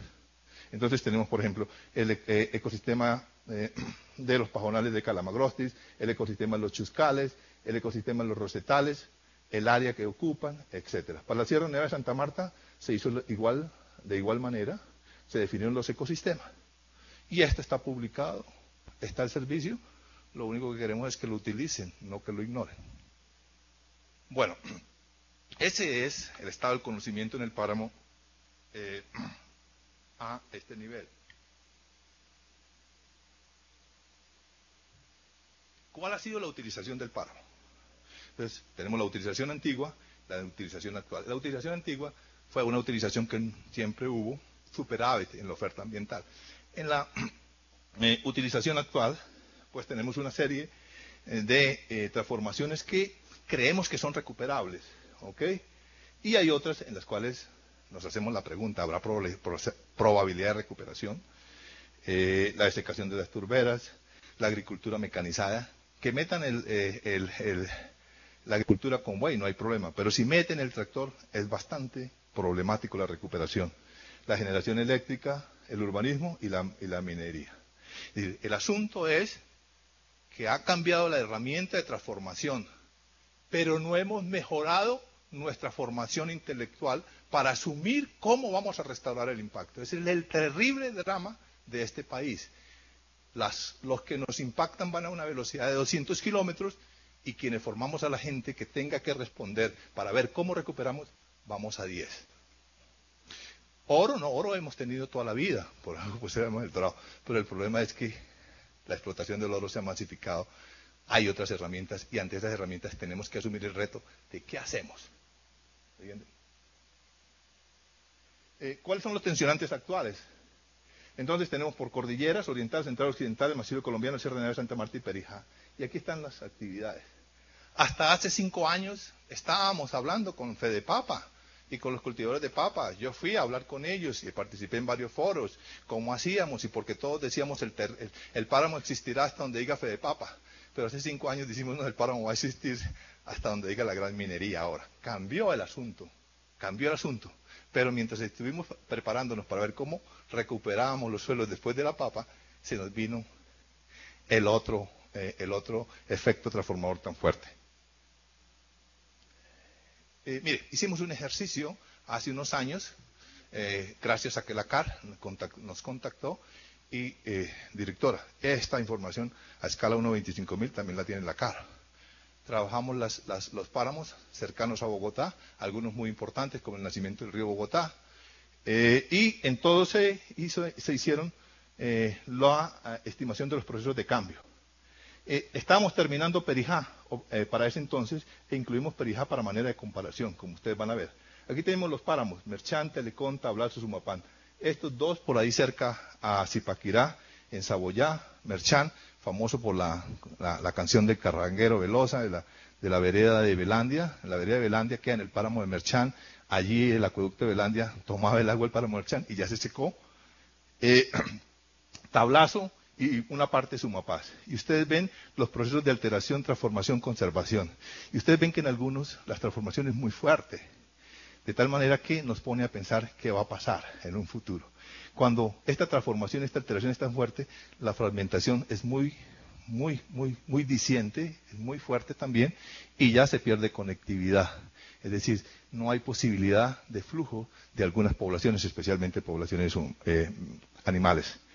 Comparamos con Perijá, y ustedes ven en Perijá, a pesar de que Perijá es un páramo que tiene vías de penetración por todos lados, porque está en la frontera, el contrabando, etcétera, etcétera, tiene vías de Y el páramo de Perijá está supremamente conservado. Es quizás de las pocas áreas del país en buen estado de conservación.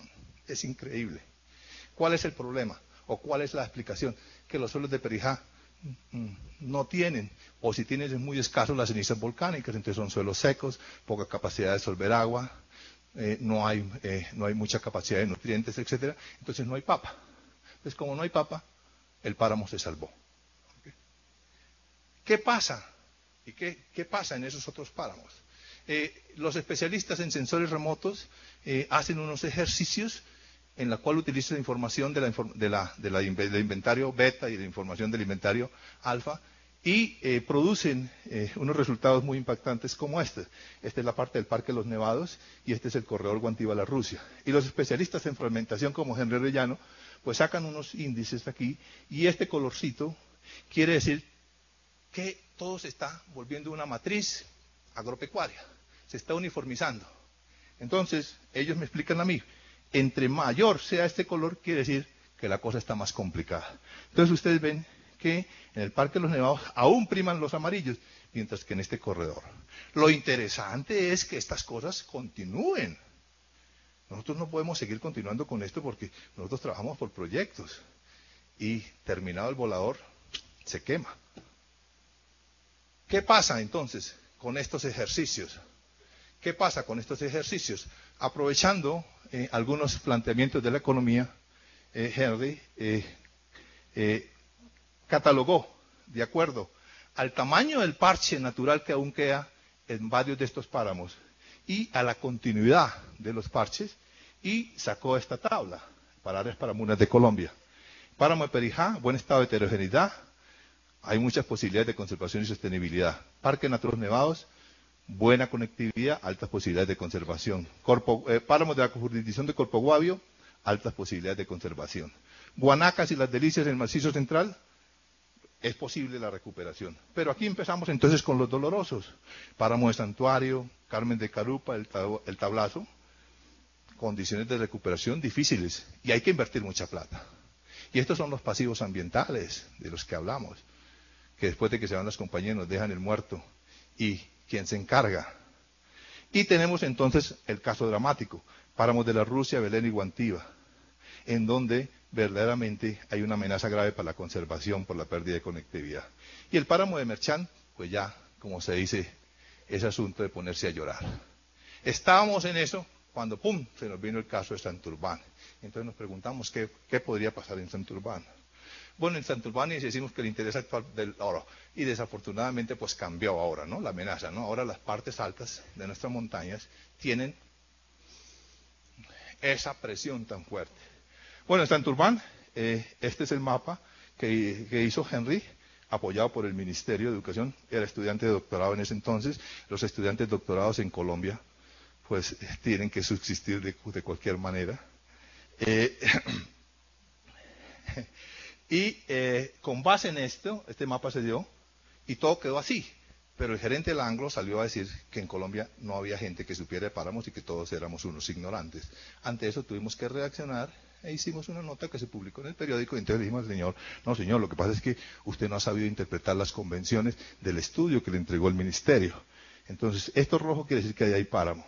Y usted dice que no, y mire, aquí hay un botadero y eso está en el páramo. Aquí hay una guarda de explosivos y eso está en el páramo. Y ustedes van a hacer un centro administrativo dentro del páramo. Entonces, listo. Y después fui hablé con ellos y les dije, mire, es que el problema no es que ustedes tengan permiso, el asunto es que no han dado la información que se precisa para saber el impacto. Y la información principal está relacionada con el factor agua. ¿Y cuál es el factor agua? Ok. El acueducto de Bucaramanga. El acueducto de Bucaramanga necesita 2.300 litros por segundo. Y en época de invierno, en época de verano, el río Suratá se convierte en algo clave. Y el río Suratá nace en el páramo de Santurbán. ¿Okay? No hay nada que hacer. Y la concesión que se le, se le había dado a estas señoras es para hacer una represa de unas dos o tres lagunas de esas y explotar el agua 365 días, 24 horas. La pregunta que le dice el Señor, está relacionada con esto. Mire, Señor, sería interesante que en sus estudios de impacto ambiental nos pongan unos modelos de flujo dinámico del agua. Porque es que todos los lagos y lagunas de la alta montaña son la herencia de la última glaciación. La mayoría tienen como punto de inicio 13.000, pero hay otras importantes que tienen punto de inicio 7.000 años. Es un proceso natural que se sequen, que pierdan eh, el espejo de agua. Es un proceso natural. Pero necesitamos que, como esto es una serie de lagunas interconectadas, ustedes nos apliquen cualquier eh, ecuación de velocidad de flujo para que nos digan entonces, por el hecho de no permitir un flujo natural, cuánto se va a disminuir el agua para la captación del río Suratá. Y el día que tengamos eso, yo soy el primero en decirles que les apoyo la explotación, no en páramo, en zona fuera de páramo. Hasta hoy no nos han dado la explicación. Pero eh, como les decía, eh, directora, mire, aquí hay un punto que es urgente. Eh, esta, es la, esta es la distribución de algunas lagunitas que con el profesor Van der Hamen desde el 50 se han estudiado y se ha, reconstruido toda la historia paleocológica. 20 en la cordillera oriental, 14 en la central y 16 oriental. Pero mire, solamente 6 tienen espejo de agua aquí, 5 y una aquí. De resto todas están en este estado. ¿Ok? Y necesitamos estudiarlas antes de que se vayan.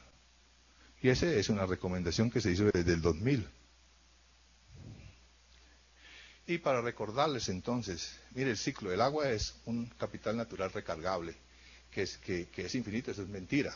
Si no, eh, no, los, árabes no tendrían petróleo, eh, en la Guajira no habría eh, carbón, etcétera. Esas son zonas que cambiaron en un momento dado porque cambió el ciclo del agua y la circulación atmosférica y ¡pum!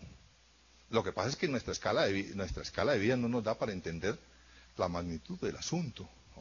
Pero mirando el ciclo del agua, pues sabemos que un ciclo es la suma de todas sus partes en un sistema. Y en la medida en que un componente empieza a disminuir, empieza a ser afectado, pues se afecta el ciclo. Y en la parte de la montaña es fundamental el ambiente para uno por varias causas. Por varias causas. Mm, de tal manera que una de las principales es el recurso hídrico. Eh, del, hasta el 2000 teníamos una, visión eh, pues bastante cercana a que hubiese asentamientos en el páramo, procesos agrícolas, etcétera. A partir del 2002, 2003, 2002, 2003, yo personalmente he cambiado totalmente mi visión y me he vuelto muy radical. De tal manera que la propuesta de los economistas acerca del valor económico total de un bien, en este caso del páramo, ya esta parte no la consideramos. Es decir, el páramo no debe tener valores de mercadeo, debe tener valores no mercadeables y valores de funciones ecológicas. El valor de función ecológica por ahora más importante es el de regulación hídrica y suministro hídrica, pero quedan otros tan importantes como captura de carbono y un valor de opción que puede ser sostenible la utilización de productos en, por ejemplo, en la farmacia. ¿Por qué el páramo, si nosotros, aplicando las reglas de la economía, utilizáramos ese capital natural como una fuente de, servicio, de generación de ingresos? ¿Por qué el páramo debía ser utilizado esencialmente en esto. Aquí tenemos la precipitación en los Andes de Colombia y mm, el páramo significa más o menos entre un 16 y un 27% de la precipitación en cualquiera de las vertientes cordilleranas. Aquí están las regiones de vida, tropical, sudandina, andina, páramo, las diferentes cordilleras y el porcentaje que corresponde si hiciéramos como una sola eh, integral de esta precipitación. Es decir, esta es la participación del páramo. Los páramos colombianos van desde secos hasta pluviales. Es decir, pues tenemos una fuente de suministro hídrico fundamental y una zona donde el clima no nos permite mayor actividad. Pero a factores muy fuertes como la minería, si no hay eh, posibilidad de oponerse desde el punto de vista biológico. Bueno, ¿y por qué el páramo? decimos que eh, es el sistema que debía ser tomado como eh, básico para todos los procesos de desarrollo del país. Porque este es un país netamente andino. El 71% de su población está asentada en las cabeceras, eh, perdón, está, asentada en el sistema andino. El páramo no es el sitio donde más llueve, ya lo vimos. Los óptimos pluviométricos, los dijo el padre Ernesto, ahí los escribió hace mucho, están en la región sudandina, pero en el páramo es el sitio donde hay mayor eficiencia. Es decir, con lo que cae se es más eficiente. ¿Y por qué se es más eficiente? Por cosas muy simples. Eh, por ejemplo, si comparamos eh, eh, el balance hídrico entre localidades del páramo, por ejemplo, estas localidades de páramo, entre 624 y, y 1000 milímetros, contra mismas localidades en la región tropical, por ejemplo, en la región del Caribe, notamos inmediatamente que aquí siempre va a faltar agua va a haber deficiencia, mientras que aquí siempre va a sobrar agua. Lo primero, no estoy haciendo ninguna denuncia, pero eh, uno se puede imaginar que se toma esa agua y mm, en el tiempo, hace un mes salió la figura de cuáles son las redes de distribución del agua de Tibitó. Yo creo que uno en el momento de ir a adquirir vivienda debería tener ese mapa. bueno, en un futuro. Bueno, el resto viene de Chingaza. El resto viene de Chingaza. ¿Qué va a pasar? Chingasa ya cumplió más de 20 años. Y tarde que temprano, lo que los yuppies nuestros de la economía ya tienen preparado, habrá que hacer otra fuente de captación. Dicen que Chingasa está ya protegido y que no se va a hacer. ¿Que se va para Sumapaz? En Sumapaz sí que es más difícil. En Sumapaz hay una figura que ahora está muy de moda, las reservas campesinas. Juan de la Cruz Varela fue uno de los patriarcas de la... En el Sumapaz no es tan fácil.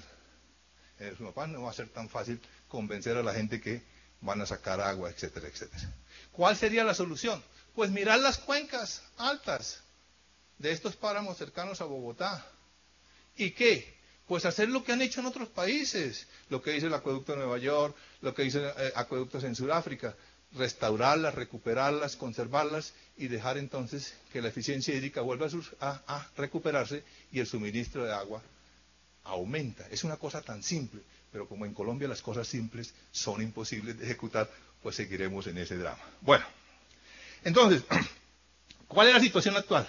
Todas estas cuencas, tenemos que mirar en el futuro, a todas estas cuencas por encima de los 2.600, por encima de los 2.800.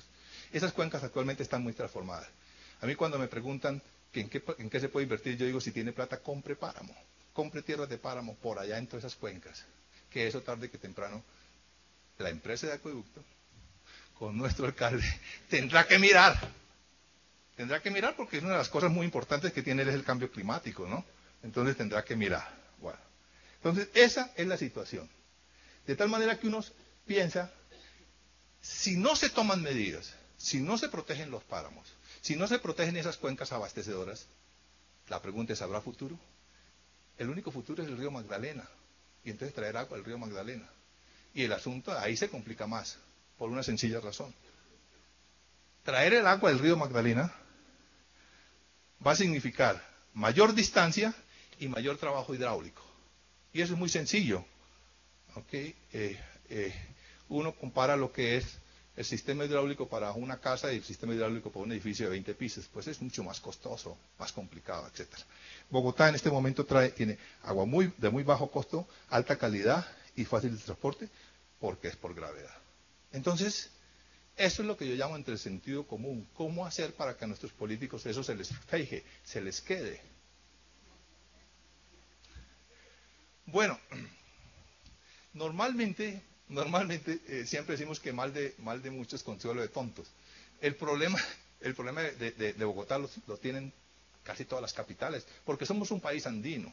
En la diapositiva está la situación de otras capitales, que sus cuencas de captación están en el páramo. Quizás los únicos que se van a salvar son los paisas, porque como ellos son otra nación, ellos sí hacen las cosas. ¿Ok? Ellos sí hacen las cosas, seguro. O bueno, tienen otra mentalidad. Sí, tienen otra mentalidad, ellos sí hacen las cosas y seguro van a tomar las previsiones como ya la están tomando. Mientras que las otras ciudades están esperando a que se agote el recurso. Y llegamos entonces a qué va a pasar entonces con esa situación del páramo, con esa situación de nuestros humedales o nuestras ciénegas y el cambio climático, que tanto nos, presionan. Y entonces todas las campañas que no abra la, nevera 20 veces, no prende el aire acondicionado, no utilice todos los carros, pero eso es para otro país, no para Colombia. ¿verdad? El problema nuestro de contribución al cambio climático, el principal problema tenemos es la deforestación. Y en los ambientes acuáticos la eutroficación o eutrofización. Esos son los dos grandes problemas y esa es la manera como nosotros estamos contribuyendo a ese cambio climático. Y eso tiene que ver mucho entonces también con nuestra conservación de páramos, porque en los páramos tenemos las reservas más grandes. Tal vez en la única parte donde tenemos carbono en el suelo para dar y, convidar es en el páramo. En las otras partes no. En la diapositiva está una propuesta que hizo mi profesor hace unos años sobre qué podría pasar ante una eventualidad de un aumento de la temperatura atmosférica de 1 a 3 grados centígrados. Y él de una manera muy juiciosa, muy, diligente, pues comparó la condición actual con la, condición en que hubiese dos veces la cantidad de CO2. Para esto se necesitaría más o menos una fluctuación de temperatura entre 1.5 y 4.5. ¿Qué significaría entonces? Que bajo estas condiciones, pues hay un corrimiento hay un límite teórico, pues es decir, global. 6 o 5 grados es el límite para la vegetación con porte arbóreo. Hasta ahí llega. Pero dependiendo de la latitud, pues entonces la montaña llegará en una parte más bajo y en otras partes más alto. ¿Ok? Pero en general, si hay mejor temperatura, es más, más, más calientico, puede subir. Y bajo eso entonces algunas o varias de las zonas del páramo se van a comprimir. Sin embargo, a pesar de mi que es mi profesor y todo, pues es un poquito catastrófico. Lo que tenemos de evidencia es frontino. Y frontino durante los últimos 3.000 años no tenemos una fluctuación mayor de 0.5 grados. Eso no quiere decir que entonces vamos a quemar todos los bosques, porque no hay. No, no, no.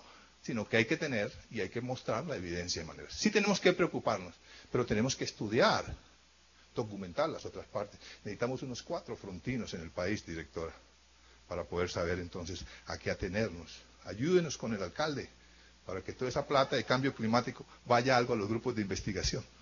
Bueno, y entonces, ¿qué pasaría?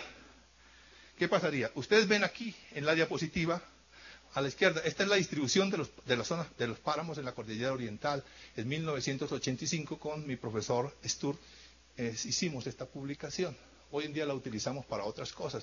Y ahí se muestra el páramo original, más bajo de la cordillera oriental es Monserrate con 3.100 metros, 3.050. Y la parte más alta está en el Cocuy. De la diapositiva es muy lógico, y eso lo hicieron hace mucho tiempo.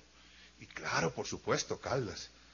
Lamentablemente Caldas todos lo utilizan y muy pocos lo reconocen. Eh, es visto de que en la medida en que el macizo montañoso tiene mayor elevación, pues la zona de páramo es más amplia, es una verdad de perogrullo. Eso no necesita ecuaciones ni algoritmos para comprobarlo. Usted puede coger su vehículo y va aquí a Montserrat y luego a Cruz Verde y luego sigue por la cordillera oriental y se da cuenta de una manera muy sencilla. Bueno, ¿qué podría pasar en el páramo? Entrando en el plano de las especulaciones. Probablemente se puede afectar más la zona del subpáramo, la más rica. ¿Por qué? Porque es la que está más en contacto con la vegetación de la región andina, donde el bosque va a subir. Y entonces podríamos pasar de un páramo rico y diverso a un páramo muy pobre por efecto del cambio climático. Pero el cambio climático son todas las acciones en las cuales la manifestación de la actividad humana es la responsable. Cambio climático no es cambio de clima solamente, cambio de los límites de distribución de los organismos, prevalencia de cierto tipo de enfermedades, cambios en el suelo, cambio en los regímenes de distribución de la lluvia, etc. De tal manera que si el asunto sigue como va, pues vamos a tener una condición contrastante. Nuestro páramo va a morir en una condición muy eh, paradójica. El páramo se originó, de acuerdo a los trabajos paleoecológicos, como una isla de páramos en matriz de bosques en la medida en que la cordillera, especialmente la cordillera oriental, se elevaba. Más o menos a una paleoaltitud de 1500 2000 ya se insinuaba una vegetación típica del páramo, que se consolida cuando hay el levantamiento final. Es decir, y bajo condiciones de alta humedad. Condiciones de alta humedad porque se necesitaba que se originaran clareos en donde esta vegetación pudiera expandirse. ¿Y el páramo cómo está muriendo? Está muriendo como estos. Páramo de Merchán de Saboyá. Islas de páramos en una matriz agropecuaria. Y esto es el cambio climático antrópico, la desecación de los lagos, la quema, el uso agropecuario y ahora la minería. De tal que manera que los biomas paramunos pueden llegar a estados no recuperables. Bueno, ya voy a apurar. Entonces ahora sí viene tres puntos con los cuales quiero contestarle muy cordialmente, eh, eh, Brigitte. ¿Qué ve uno? Eh, creo que la columna de Daniel Samper de días pasados me hizo casi que llorar porque era estudiante de biología cuando las, marchas en favor del Tairona. Y admiré mucho a Jorge Hernández y también tuve muchas, eh, muchas controversias, enfrentamientos, pero dentro del sano ambiente académico y de respeto porque él era mi profesor. Y Daniel Samper decía, vivan los soplones, porque en un momento dado el profesor Hernández se le acercó a decirle, estoy cansado de discutir en el Inderena que no se puede aceptar que el Tairona sea para hoteles. Y como no le hicieron caso en la Junta Directiva, pues la única manera fue convertirse en garganta profunda, decirle a Daniel Samper, y se inició ese movimiento que puso un tate quieto a las pretensiones de hacer eh, hoteles de cinco estrellas del Tairona en el 71 moralmente creo que cuando uno tiene una visión un tanto diferente, pues tiene que decirla, tiene que comunicarla, tiene que exponerla. Y yo lo he hecho pública, lo he hecho oficialmente, porque represento al rector en el Humboldt, ¿no? Todas mis cartas están y, y eso, es, eso es público, ¿ok? Bueno, ¿cuál es la gran amenaza para mí? La ambigüedad y la pasividad ambiental, la pasividad estatal. Me pregunto, ¿el límite definir un límite altitudinal del páramo, lo pregunto, ¿es un ejercicio serio? ¿Cuáles son las implicaciones? Y aquí hay dos cosas, mire. No coloqué todo lo de Caldas porque no me, no me alcanzaba la diapositiva del tiempo. Caldas en 1802, pues propuso este esquema fantástico, en todos mis cursos estudiantes le digo, uno nos, uno nos explica cómo hizo ese tipo con tan poco conocimiento, porque no, tenía, no se podía mover mucho, para, para, para, para proponer esto. No ha cambiado nada, lo único que hemos hecho es documentar que lo que él dijo es cierto. ¿Ok? Entonces él puso que el páramo bajo estaba entre mayor de 3.000 a 3.700 y estos límites de temperatura. Fantástico, vea. Y cuando eso no había internet. Eh, el páramo alto entre estos. ¿Ok? Esos son los límites de Caldas de 1802, no 1812. Y otra persona, Cuatro Casas. Miren ustedes, Cuatro Casas de una manera fantástica pone aquí el macizo de Bogotá dentro de la cordillera oriental. Y ustedes ven que tienen las mismas convenciones. Se escribió en español. un ecólogo muy famoso y que respeto mucho, Group, que trabajó en Ecuador, se hizo mundialmente famoso porque dijo que eso era el efecto telescópico, el efecto de masas, y eso explicó muchas teorías en la biogeografía, que era el salto de montañita en montañita. Pero si uno va a la verdad, Cuatro Casas de 1974 y de 1958 lo había dicho antes que Group. Y ya lo había dicho, miren, en el macizo de Bogotá el páramo está más bajito que en los páramos de la Nevada del Cuy. Nosotros no hemos hecho sino seguir esas cosas. Entonces, la culpa hay que echarse a Cuatro Casas hacia Caldas y no a nosotros. Nosotros lo único que hemos hecho es documentar lo que ellos dijeron. Entonces, ¿qué pasa? Si decimos oficialmente el límite del páramo, y mire, me opongo rotundamente a esa manía que tenemos los colombianos de que todo lo sacamos oficial. No es la primera vez que tengo este enfrentamiento. Me enfrenté en el 2003 con la gente del Agustín Cobase porque me dijeron, profesor, ese límite que saca usted para el chocó biográfico no puede ser. Oficialmente es este. Le dije yo, pues sí, es oficialmente es ese, pero para mí es este. Dejemos ahí que la gente utilice o el que dicen ustedes o el que decimos nosotros. ¿Ok? Bueno, ¿qué pasaría si decimos que el límite de los páramos va a ser a 3100? Tomemos los páramos de la cordillera oriental, ¡pum! pasa por aquí. Todos estamos contentísimos, pero miremos un poquito, porque yo soy conservacionista, pero no soy panteísta. No, no, no, no, no, tenemos que vivir de algo. Es decir, regreso al, hombre primitivo, no. ¿Qué pasaría con las fincas ganaderas, las fincas lecheras entre 3.200, 3.600 en algunas regiones de Colombia donde no hay páramo? Al señor se le tocaría decirle, váyase. Tenemos una, una, una queja en el Jumbo, en la Junta Directiva que yo radiqué, sobre el problema del tablazo y de subachoque. Y están detrás un poco de conocedores del asunto, geógrafos muy buenos detrás del asunto porque están siendo afectados con la delimitación. Eso no, tenemos que pensarlo. ¿Qué pasaría en el caso contrario? Diremos, no, entonces 3.500. Entonces todos los páramos bajos quedan por fuera. Entonces todo el mundo podría hacer ochas y panochas con esos páramos porque no son páramos. Entonces, ¿qué hacemos, Brigitte? Pues repasar, repasar un poquito la historia, volver a leer las cosas que han dicho la gente. Hay factores externos históricos que tienen que ver con los límites del páramo. Este clásico, la contribución de, Van der Hamen y colaboradores del, 80, del 71 sobre el origen de la, de la, de la, de la, de la flora de la cordillera oriental, en que muestra cómo fueron los procesos de levantamiento de la cordillera, etcétera, cómo se crearon páramos aislados, etcétera. Este es las glaciaciones que tuvieron su máxima expresión en el último glacial, y esto, el vulcanismo. Las glaciaciones son fundamentales, porque es que decir, la mayoría de áreas de alta montaña en nuestro país estuvieron cubiertas o sufrieron el efecto de las bajas temperaturas, el efecto periglacial. Esta es una diapositiva de lo que, lo que han sido los diferentes estadios glaciales en la Sierra Nevada del Cocuy. En algunos casos llegaron a 2.800, 2.900, en otras partes a 2.900, en otras a 3.000.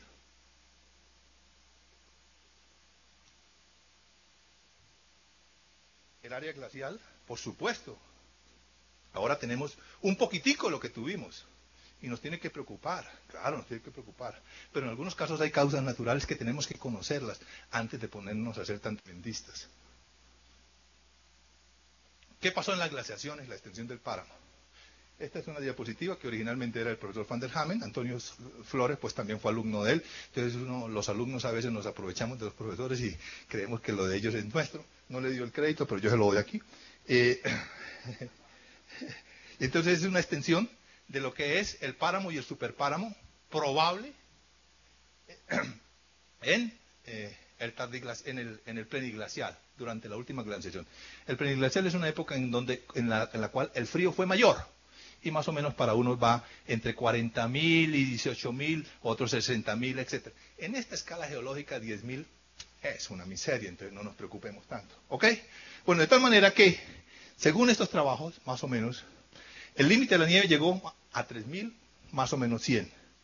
Y para esa época entonces se calcula que existían 17.000 kilómetros de hielo. Curiosamente, la extensión actual de páramo, de todo, la extensión de páramo estuvo cubierta de hielo. La superficie actual del páramo es esta. y el área glacial actual es 48 kilómetros. Es decir, estrambótico el cambio, por supuesto. Pero es apenas lógico. Algunas cosas no es que eh, la contaminación, no, es una cosa lógica. Porque acuérdese, los glaciares en un momento estuvieron fuera de su límite natural por un descenso de temperatura. Y es apenas lógico que en la medida en que calienta, tienen que buscar su punto de equilibrio. Pero esto tiene que entenderlo el país. Y no contratar una misión, como hizo el IDEAN hace cinco o seis años, que para que le escribiera un estudio sobre el cambio climático. Pues por teoría, usted entra al Google y hay todo. No, son datos. ¿Ok? Entonces, ¿cuál es el problema? Para entender los límites de paro, asociarlos con esas historias. Entonces, como la mayoría de las áreas paramunas estuvieron bajo los efectos de la glaciación y de los efectos periglaciales, sus límites están corridos. Entonces tenemos que esperar a que haya un equilibrio en la isoterma entre la temperatura del aire y la temperatura del suelo. Y en la alta montaña esto está corrido. En la media montaña no está corrido y por eso la media montaña es la zona con mayor precipitación, porque es la zona con mayor homogeneidad climática desde ese punto de vista. Entonces, ¿qué pasa? Otra vez, utilizando los trabajos de Antonio Flores. En el pleniglacial, entre 40.000 y 18.000 años, antes del presente, en el Devado del Ruiz, la lengua glacial se extendió de manera diferencial. En algunos casos, en esta vertiente oriental alcanzó los 2.700, mientras que en este llegó apenas a los 2.900 o a los 3.000. Es decir, en esta vertiente hubo mayor extensión de la zona periglacial. Eso ya que nos está diciendo que las dos caras de una cordillera o las dos vertientes no son iguales. Eso se lo vivimos repitiendo a nuestros estudiantes y ellos siguen haciendo modelamiento y distribución de especies diciendo que todas las cosas son iguales. Pues ¿para qué?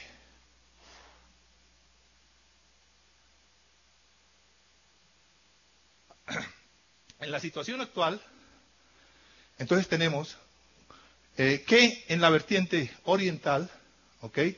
La isoterma del suelo está a 5.200 a 5.300 y la del aire a 4.400. ¿sí? Entonces, todavía falta mucho por derretirse para que llegue a cero y esté en equilibrio. Pero claro, eso no quiere decir que aceleremos esa situación. No tenemos que evitar que se acelere esa situación y que vaya lo más normal. Entonces, ¿eso qué implica? Que el clima aquí, las manifestaciones van a ser diferentes que acá. ¿Cómo hacemos para que eso se meta en la cabeza de quienes toman las decisiones en este país. No son iguales las dos vertientes. Luego, no son iguales la distribución ni los límites altitudinales del páramo. Además, mirando sencillamente un mapa físico, uno ve aquí, este es el Valle del Magdalena, por donde entran estos alicios y corren, y aquí está el Valle del Cauca. Es apenas lógico que estos páramos van a tener unos efectos diferentes a estos páramos. Estas corrientes son corrientes muy secas, muy ávidas de humedad, mientras que las otras son más amplias, tienen posibilidad de recargarse en los humedales, etc. Esos son conocimientos teóricos generales que hay que incorporarlos para las decisiones. No es nada nuevo, no es nada misterioso. En la diapositiva está entonces la diferencia entre la temperatura del suelo y del aire en las diferentes cordilleras colombianas y más o menos los gradientes térmicos. Tenemos actualmente un desfase entre eh, la eh, temperatura del aire y la temperatura del suelo. Y necesitamos que se llegue a esa situación de isoterma cero. Eso va a implicar entonces unos cambios graduales. Porque cuando las curvas se ajustan, el clima se homogeniza, como pasa, por ejemplo, en toda la que es la media montaña. Bueno, estas son razones históricas, mi querida directora, de por qué cuando uno quiere oír, pide a la gente que le hable. Y la gente por lo regular le habla. Yo creo que ninguna persona se niega a, emitir un concepto o a ayudar. En estas cosas, a mí sí me gusta ser muy frentero y decirlo así. En ningún momento. Ahora pasemos al otro plano. ¿Qué se conoce la biodiversidad del páramo? Es, es la región mejor documentada de este país. Del páramo sabemos casi todo, hasta el 2000, 2001, por supuesto. En el nivel de conocimiento que creemos que teníamos en ese entonces. Claro que faltan muchas cosas, pero lo básico está. Mire, aquí tenemos el inventario de plantas con flores, de aves, de reptiles, de anfibios, de mariposas, los valores de precipitación, los tipos de vegetación. Tenemos atlas palinológicos, tenemos contribuciones sobre mecanismos de transporte, tenemos dominancia, comunidades de especies, riqueza, tenemos todo lo de estructura de transporte, tenemos ecología de comunidades, tenemos muy bien todo lo que es el inventario beta, sabemos mucho de las afectaciones de las alteraciones y fuera de eso teníamos en el 2001 un inventario de 1.200 y pico de localidades para mulas. Este es el posicionamiento del páramo en Colombia. En cuanto a biodiversidad, Colombia más o menos debe tener 26.000, 27.000 especies. No somos tan ricos como todo el mundo lo pregona, pero seguimos siendo el segundo país más rico.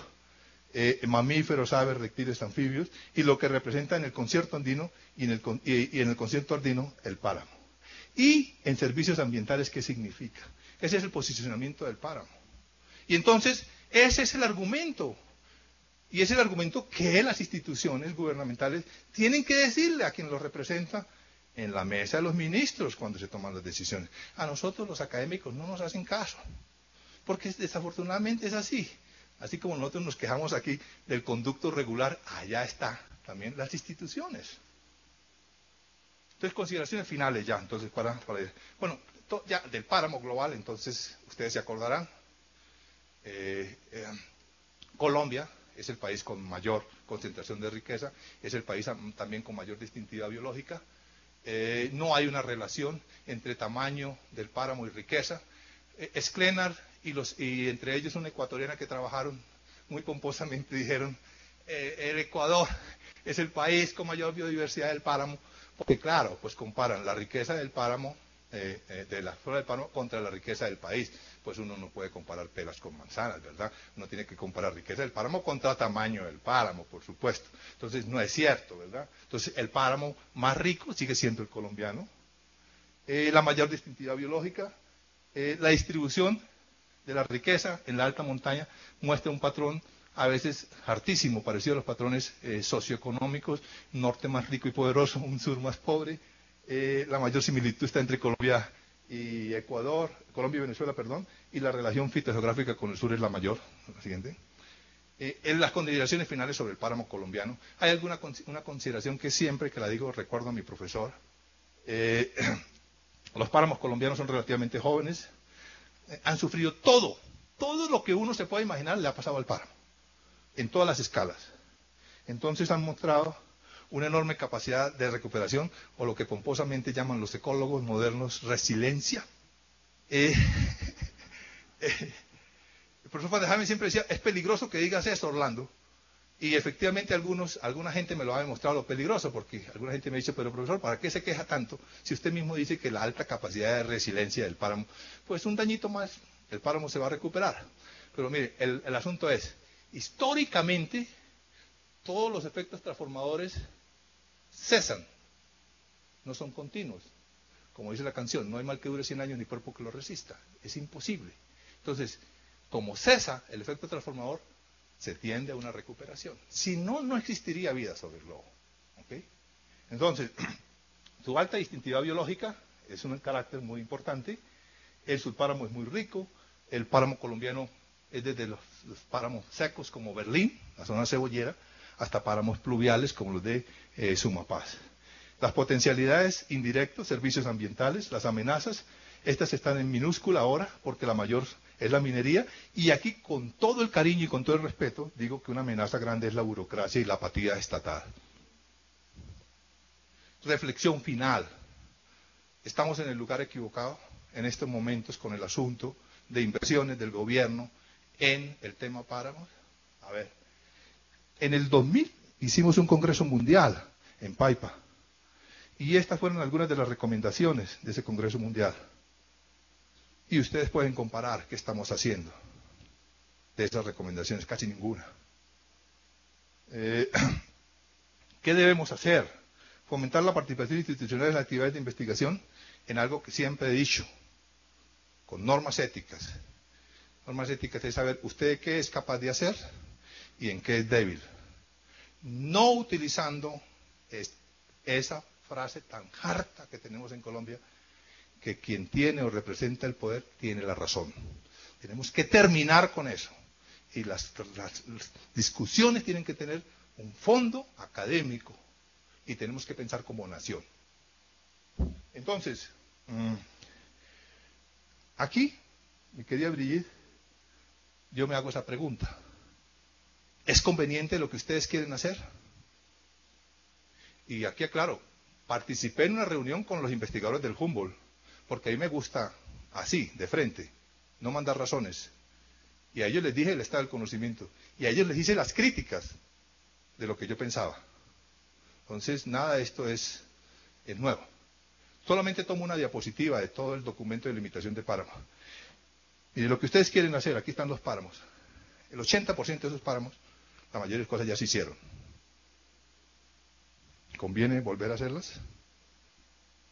Si ustedes miran todo el montón de cosas que dicen aquí que se hagan. Mire, catálogo en línea de especies de páramos. Señor. Oye, pero si ya está hecho. Pues ahí está. Es, toda esta información que ha generado la Universidad Nacional está en el portal www Colombia Universidad Biótica y la pueden bajar. Yo traté de hacer algunos acercamientos con el Humboldt, pero me propusieron hacer eh, eh, huevos con tocineta. Y por supuesto yo tenía que poner la tocineta, entonces no hubo arreglo, no hubo convenio. Entonces, uno puede ver aquí. Y aquí hay algunas cosas, por ejemplo, que uno se pregunta, ¿a qué horas, por ejemplo, van a hacer esto? Integración de filogenia y genética de poblaciones, mapa de unidades evolutivas. Y yo digo, mire, muy respetuosamente les he dicho, pues pongamos en el papel las cosas que podamos hacer. ¿Para qué ponemos muchas cosas, impresionamos y después decimos que no las logramos? Esto es una observación que se la ha hecho en la Junta Directiva varias veces. El doctor Gula es testigo que lo hice en Villa de Leyva en diciembre. Y, seguro que el día me convenzan, yo seré el primero en salir a decir que yo estaba errado, yo estaba equivocado y ustedes eran los iluminados. Entonces, finalmente, pues esta es la, visión bucólica del páramo, la portada del libro Colombia Diversidad Biótica, volumen 3 del 2000 y, esto al final, dando las gracias, es un llamado. Los límites del páramo son los naturales. Tendríamos que convocar a Thor, a todos los dioses, para que nuevamente nos dieran una posibilidad de que la orogenia andina nos modelara todo igual. Muchísimas gracias.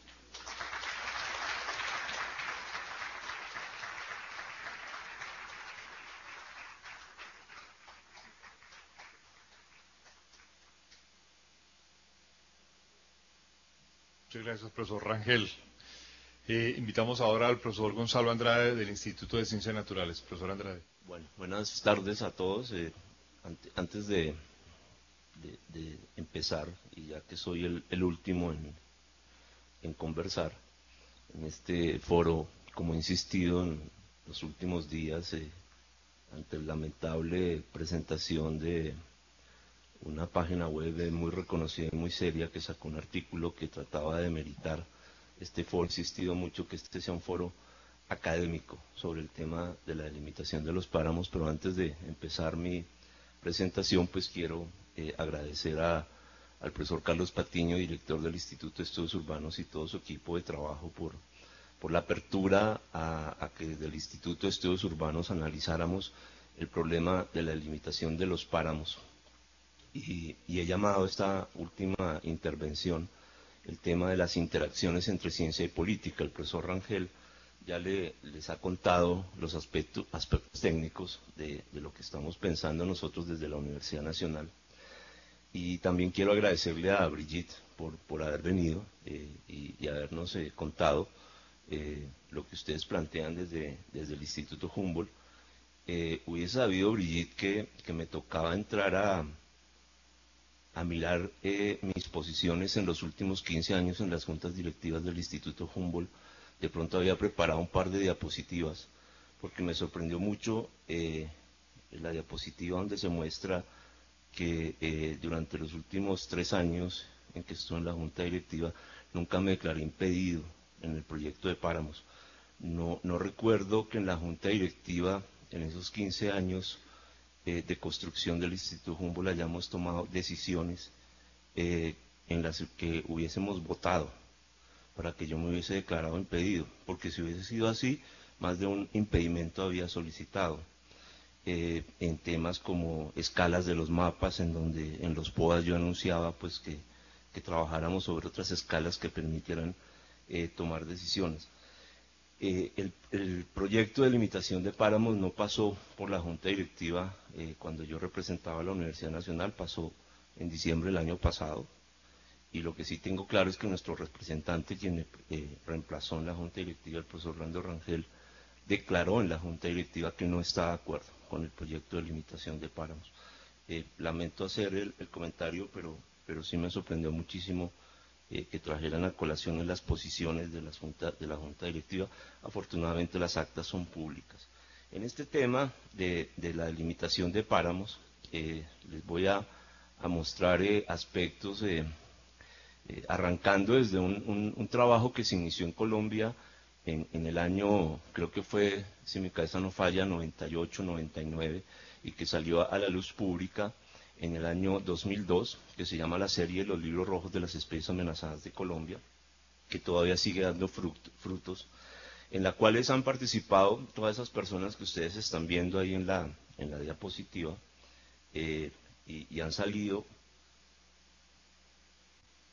16, 16 volúmenes eh, publicados, eh, uno que se ha, eh, ha, sacado un segundo volumen en un espacio de 10 años, el de peces dulzacuícolas, que se publicó el primer tomo en el año 2002 y, aparece un segundo tomo en, el 2012 que fue distribuido por el Instituto Humboldt en, marzo de, de, este año. Lo interesante de eso es que han participado muchísimos investigadores en la elaboración de este libro rojo. Y traigo a colación el, tema de lo que se trata en esos libros rojos, según las categorías de la UICN, para los planteamientos que vienen de aquí en adelante. Eh, hablamos de especies amenazadas, y las especies amenazadas son esas tres categorías que están ahí en peligro crítico, en peligro y vulnerables. Eh, en peligro crítico, para, los que no son biólogos, eh, y me parece pertinente esto, dice cuando la especie tiene una reducción del tamaño de la población menor o igual al 90% y la probabilidad de extinción en estados silvestres de por lo menos el 50% dentro de 10 años o tres generaciones. En peligro es cuando la especie tiene una reducción del tamaño de la población mayor o igual al 70% y la probabilidad de extinción en estado silvestre es de por lo menos el 20% dentro de 20 años o 5 generaciones. Y el menos estricto de esas tres es el vulnerable, que es cuando la especie tiene una reducción del tamaño de la población mayor o igual al 50% y la probabilidad de extinción en estado silvestre es de por lo menos el 10% dentro de 100 años. Estos son los, distintos tomos, las carátulas de los distintos tomos que han salido y los años de publicación eh, en el tema de, fauna amenazada, resaltando el libro rojo de peces dulzacuícolas que sale en el año 2002, en donde de paso le sorprende a uno ver en 10 años de, diferencia, 2002 a 2012, en, el, libro del 2002 habían 41 especies de peces amenazados y en el del 2012 pasamos a 81. Entonces uno se queda pensando qué está pasando en el país. Debíamos estar porque cuando salen estos libros rojos publicados, la idea es que se lancen estrategias de conservación de las especies que están siendo puestas o en peligro, en estados vulnerables o en estados críticos. Y uno esperaría que disminuyan los índices de, especies que estén amenazadas. Si uno mira al interior de, eso, pues han disminuido porque las que estaban en peligro, algunas pasaron a, estado crítico, otras pasaron a estado vulnerable, pero aumentamos el número de especies amenazadas.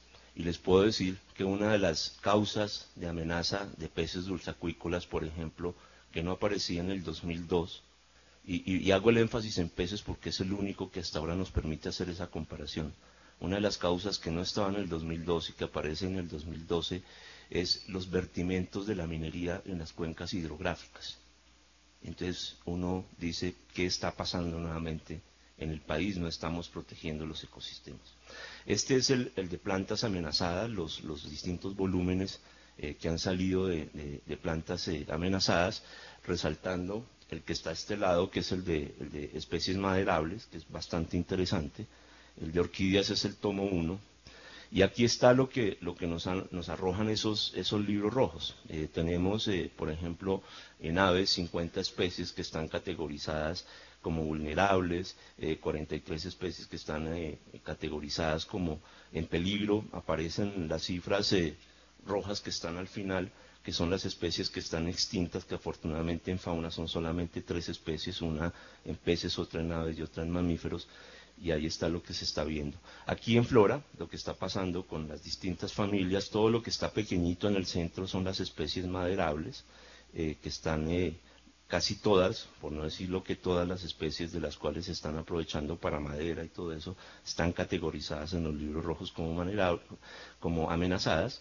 Y acá eh, una síntesis de lo que está pasando en los distintos grupos de la, de la, flora y de la fauna, 904 especies de plantas amenazadas, 112 de aves, 81 de peces dulceacuícolas, 43 de mamíferos, etc. En mariposas 10, debo hacer énfasis en mariposas que es mi línea de investigación. Y nos, y nos muestran eh, datos como el de la anta de páramo. Les he puesto arriba en rojo los departamentos en donde esa anta de páramo que está categorizada como en peligro eh, está distribuida en, las zonas de Nariño, de Putumayo, del Cauca, del Huila, del Valle, del Tolima, del Quindío, de Risaralda, de Cundinamarca, que si uno, uno lo mira, eh, dice es una distribución muy amplia y uno se preguntaría por qué está categorizada como en peligro, en una categoría tan, tan fuerte. Eh, y uno entra a mirar los datos de distribución que hay de la anta de páramo y son muy puntuales para cada uno de esos sitios, lo que hace que esa distribución restringida en cada una de las zonas eh, amerite que esta especie eh, esté categorizada eh, como, en peligro. Mira uno el, tema de los, de los frailejones, lo, que está pasando, eso está en el, en el tomo 2 de, la flora, en donde, por ejemplo, la, la paipana, que, que, está en los páramos colombianos de aquí arriba, al pie de nosotros, está categorizada como en peligro crítico. Ahí aparece un mapa al lado, en donde eh, se muestran eh, lo que está metido entre los polígonos, son especies que tienen una distribución restringida de, frailejones y lo que aparece en los puntos rojos son especies que tienen una distribución muy restringida en, en, las zonas de páramo. Los frailejones, para los que no sepan, son especies que viven única y exclusivamente en las zonas de páramo, no viven en ningún otro ecosistema en Colombia.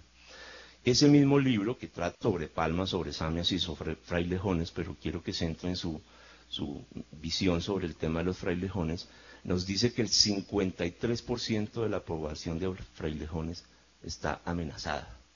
Y les acabo de indicar que vive única y exclusivamente en las zonas de paro. ¿Qué está pasando entonces con los, ecosistemas y, con el ecosistema de páramo? Y aquí, es donde empieza uno a, preguntarse otra, otra serie de cosas. Este es el mapa de, zonas protegidas eh, que tenemos en Colombia. Ahí estamos viendo en, en, verde. Este. Estamos viendo eh, el verde oliva, son las eh, zonas de reservas forestales de ley segunda, el, verde un poco más claro es eh, toda la zona de, parques nacionales naturales y también tenemos todas las zonas de, humedales, lo azul eh, claro son todas las zonas de páramos y, toda, y el verde fuerte que alcanzan a ver por ahí en algún lugar son los parques nacionales naturales regionales.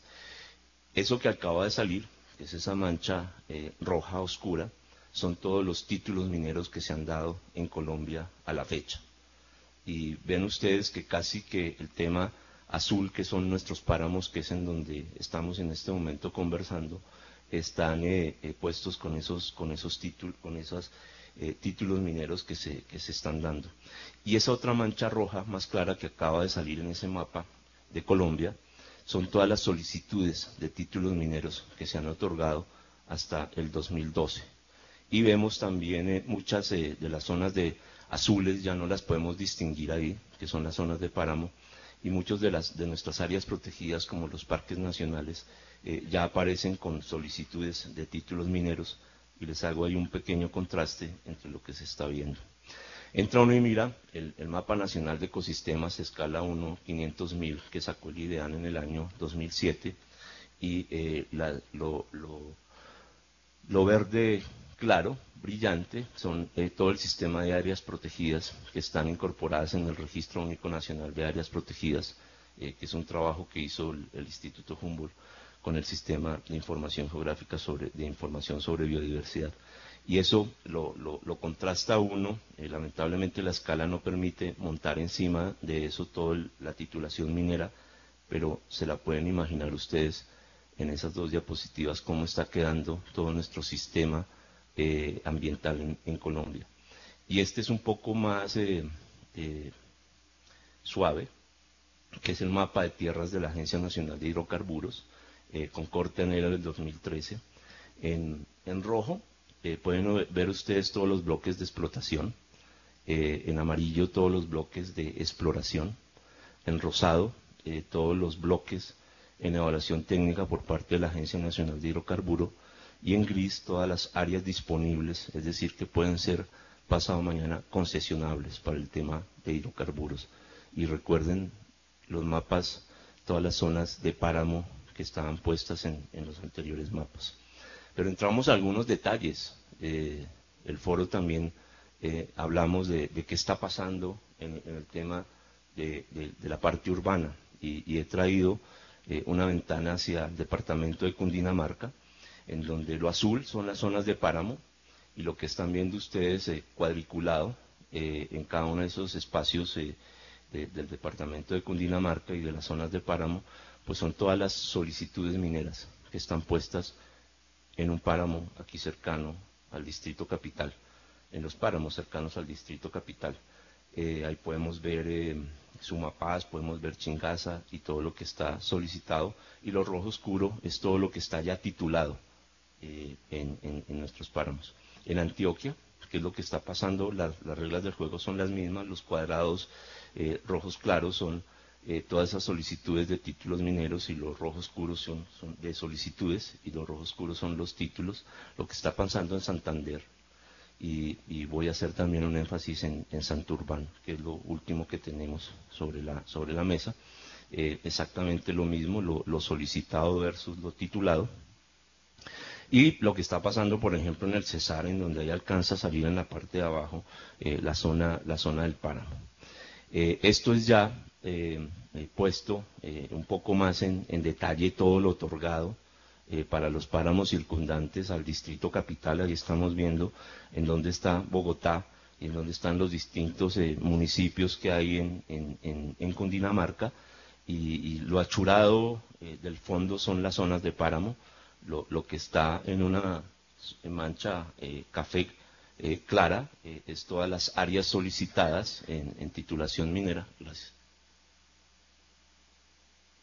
Y lo que está en el, en el, en el café oscuro, pues son todos los títulos que ya han sido otorgados para, para los páramos que están en el, en el departamento de Cundinamarca. Esto es un, dato del, último libro que sacó eh, la Contraloría General de la República eh, en el capítulo de, Guillermo Rudas, eh, que habló sobre el tema, digamos, económico de, la minería. Lo deja uno bastante preocupado también porque le muestra a uno las corporaciones cuántas licencias ambientales han dado que tienen que ver con el tema minero. con, el, con el, Ministerio de Ambiente y cuántos han dado las otras autoridades y aquí vemos cerca de 19 mil eh, eh, licencias que se han dado eh, para todo el tema minero. Y aquí vemos, por ejemplo, cómo está representado el, ecosistema de páramo en los datos de, Guillermo Rudas, que están en el libro y que dictó una conferencia recientemente en la, Academia de Ciencias. Y nos cuenta que más del 99% de la producción de oro y el 92% de la producción de carbón son exportados sin generar encadenamientos productivos. Eh, y, prácticamente lo que uno viene a mirar es que a Colombia lo que le está quedando es el hueco. Y nos muestra, por ejemplo, en ese mismo capítulo, Guillermo, todo el tema de, las deducciones tributarias y todo el tema de las regalías. Entonces pueden mirar a un lado el tema de los hidrocarburos y al otro tema, al otro lado el tema minero, y entonces nos muestra más o menos que por cada peso que está generando en el tema minero eh, para regalías de donde se están financiando proyectos vía Colciencias, el Estado colombiano está dando una deducción tributaria de 132 pesos. Por cada 100 pesos, 132 pesos están dando de, deducción tributaria. Y más o menos pasa lo mismo en el, tema de los, de los hidrocarburos, es decir, que ni siquiera el tema tributario le está quedando al, país. Y miramos eh, eh, el tema que muestra Guillermo sobre el tema de, cómo funciona con los hidrocarburos, al menos es mucho más suave, mucho más eh, importante para, esto que las, asignaciones de esos aprovechamientos se hacen mediante rondas eh, en donde se les asigna esa exploración a las, al mejor postor, pero no ocurre lo mismo en el tema de la minería. Y eso es, eso es parte de, los, de los motivos por los cuales eh, nos llama a nosotros la atención y la idea de hacer este foro académico para debatir si verdaderamente, como acaba de decir el profesor Rangel, por ahí es la vía. O sea, no, nos parece importante que el tema de la limitación de los páramos, pero no como se está planteando que se debe hacer porque no podemos esperar 25 meses, como lo está planteando el proyecto que financia el Fondo de Adaptación al Instituto Humboldt para entregar resultados de dónde es que queda una zona de páramo. El profesor Rangel acaba de mostrar con lujo de detalles eh, que ya se pueden tomar decisiones para que el, ministro de Ambiente, como me, mencionó esta mañana, eh, cuando llamó a excusarse porque no podía asistir, eh, me pidió el favor de que, de que les dijera que está pendiente de, los resultados del foro, pero que también quiere una reunión la semana entrante en el despacho de él, con la asistencia de Brigitte, con la asistencia de Rangel y con la asistencia mía, para ponernos de acuerdo, para ver él cómo hace para darle cumplimiento al artículo 202, en donde le permita decir en dónde se hace o no se hace minería en las zonas de páramo en el país. En minería, el primero en el tiempo es el primero en el derecho. Entonces el primero que hace la solicitud es el primero que se le otorga sin ningún otro trámite que se tenga que hacer. Y eso es lo que nos preocupa, porque miremos en la realidad lo que está pasando en este páramo en Boyacá, en donde ya estamos viendo todo el tema de aprovechamiento de carbón. En el páramo de Pisba, lo que está pasando ahí también ya aprovechamiento de carbón. En, la zona minera de Samacá, eh, adyacente al páramo de Rabanal, toda la intervención de carbón que conocemos claramente que está sucediendo allá. Eh, estas fotos del año 2012 eh, en el páramo de Santurbán, en donde quisiéramos ver el páramo de Santurbán como lo que está ahí puesto, pero llegamos a zonas como, como estas fotos que están viendo ustedes acá. Esta es de un lado y esta es del otro lado, eh, por los lados de Betas, en donde esta montañita blanca que están viendo ustedes acá es cerros de azufre en medio del páramo de Santurbán. Fuente de agua, como lo mostraba el profesor Rangel. Y aquí estamos viendo más montañas de azufre en el, en el, en el páramo, en medio del páramo de Santurbán. Ese páramo de Santurbán tiene 24 diferentes tipos de ecosistemas naturales. Tiene 253 especies de plantas, tres especies de puyas que son endémicas, con datos de investigaciones que está adelantando actualmente la Universidad de Pamplona. Es importante otro, otro tema aquí. Eh, cuando trabajamos eh, con el ministro de Ambiente y las cuatro universidades, eh, la Nacional, la de Antioquia, la Javeriana y los Andes, y los asesores del despacho del ministro, por voluntad del, señor ministro, en sacar los decretos que vienen a cambiar el tema de los permisos de investigación y que es una excelente solución que estamos esperando, como decía Brigida ahorita, en cualquier momento eh, se, firmen. Eh, entonces eh, aparecen, hay unos datos muy interesantes. analizamos por parte del Grupo Plebio de la Universidad Nacional todos los cinco programas de conciencias y se miraron todos los grupos que estaban categorizados y reconocidos del país y que tenían que ver con el tema de ambiente, biodiversidad. Y, se miraron qué cuántos proyectos de investigación estaban realizando y eh, en qué áreas y de qué instituciones eran. El 68% de la investigación en biodiversidad que se está haciendo en el país lo producimos las universidades, el 50% las públicas y el 18% las universidades privadas. Y Orlando acaba de mostrar de dónde es que salen los elementos para poder uno decir rápidamente dónde es que está la zona de páramo en este país. Entonces, la Universidad de Pamplona nos muestra tres especies de puyas que están endémicas ahí, que no están dentro del perímetro eh, del polígono que se declaró como Parque Regional Natural. Eh, es parte de lo que yo decía, que el concepto del Instituto Humboldt para, para el páramo de Santurbán no podía ir cambiando a la, a, la, a la, medida del tiempo que iban reduciendo la Corporación Autónoma Regional el polígono, el concepto seguía siendo el primero negativo, pero las otras dos reducciones siempre positivo cuando las unidades de conservación eran exactamente las mismas. Y uno entra y mira, y estas especies que les quiero resaltar acá no están dentro de ese polígono de protección de un parque regional natural. Entonces, hay 68 especies de, frailejones, 53% amenazado, como están los libros rojos, publicado en el año 2002. Ya ni siquiera es que haya salido ayer, en el año 2002. 16 de esas 68 especies son endémicas. De esas tres endémicas están en el páramo de Santurbán. Una está categorizada como amenazada en estado vulnerable y otra está amenazada, categorizada como en peligro. En fauna, pues tenemos, ahí es una de las zonas de liberación del cóndor, que, ya vamos a Santurbán y al menos podemos ver el cóndor. Nunca había visto un cóndor volando.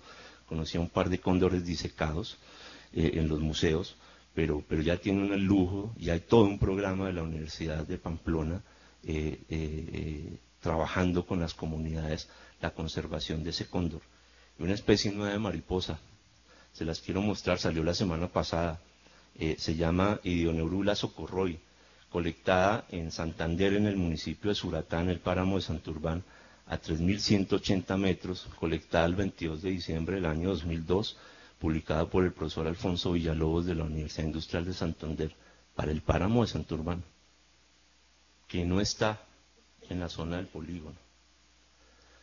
Entonces, finalmente, eh, insistir, Brigitte, en que, en que no podemos repetir el trabajo de la toma de información de la biota en los páramos colombianos y que eh, con la información que tenemos a la fecha, eh, indudablemente nuestra posición no es el, el, problema de los 66 mil millones de pesos, ese no es nuestro problema. El problema tampoco es que si se delimitan o no se delimitan los páramos, ese tampoco no es nuestro problema porque Orlando ya muestra que eso ya está delimitado sino que eso se tiene que trabajar con el conocimiento que ya se tiene de la biodiversidad del país y esa decisión se puede tomar mañana y decirle al gobierno nacional y decirle al ministro de Ambiente para que usted cumpla con ese acuerdo, ese artículo 202, ya están los elementos y ya están los mapas y ya están las cosas publicadas para que se pueda decir en este país en dónde es que se pueden dar títulos mineros y en dónde no se pueden dar títulos mineros. Muchas gracias.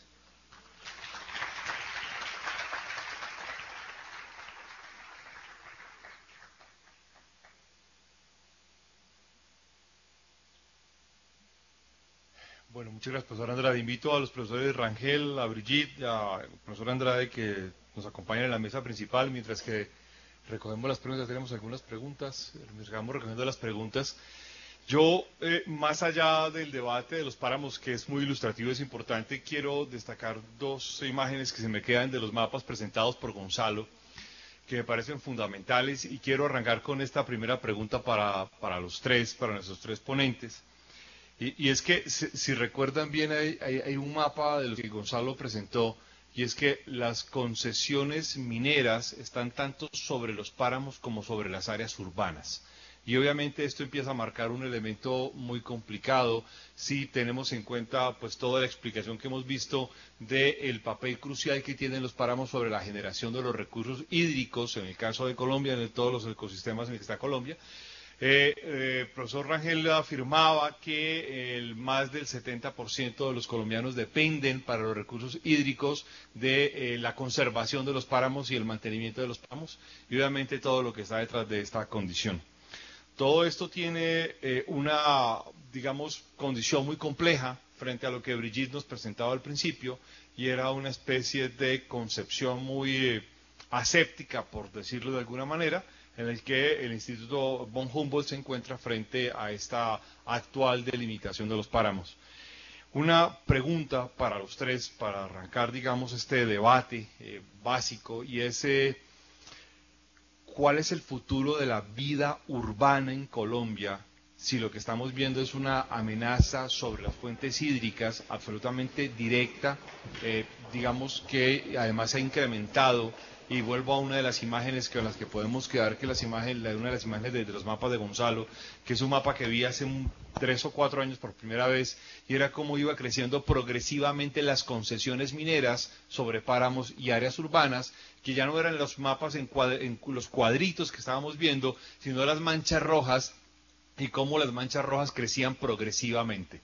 Mi primera pregunta fundamental para los tres, y podrá cada uno mirar el orden en el que lo quieren responder, es cuál es el futuro de la vida urbana si lo que está en riesgo es la provisión de agua y obviamente la condición sobre la que se pueden armar las eh, estructuras de ordenamiento urbano sobre o a partir de las condiciones en las que se provee el agua para las áreas urbanas. Adelante. Bueno, eh, esa es la pregunta central desde el punto de vista de servicios ecosistémicos.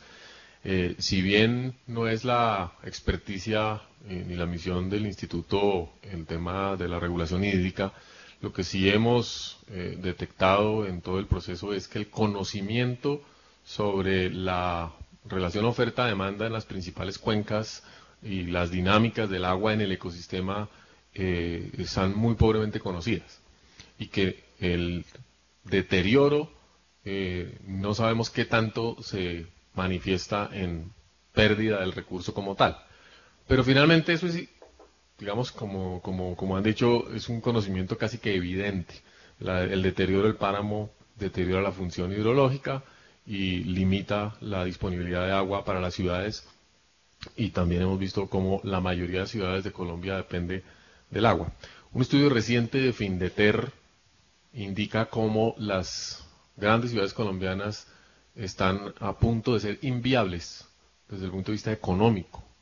Eh, porque no van a tener agua suficiente.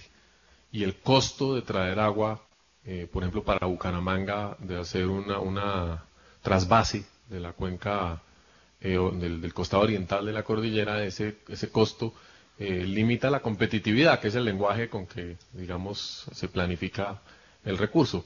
Para Barranquilla, por ejemplo, que es la cola final, si no se toman medidas y, no se invierten recursos del orden de los millones de dólares eh, para reconstruir la capacidad de tratamiento, almacenamiento y distribución de agua, eh, eh, la ciudad va a tener mm, pérdidas muchísimo mayores. Entonces, la, la, pregunta es central.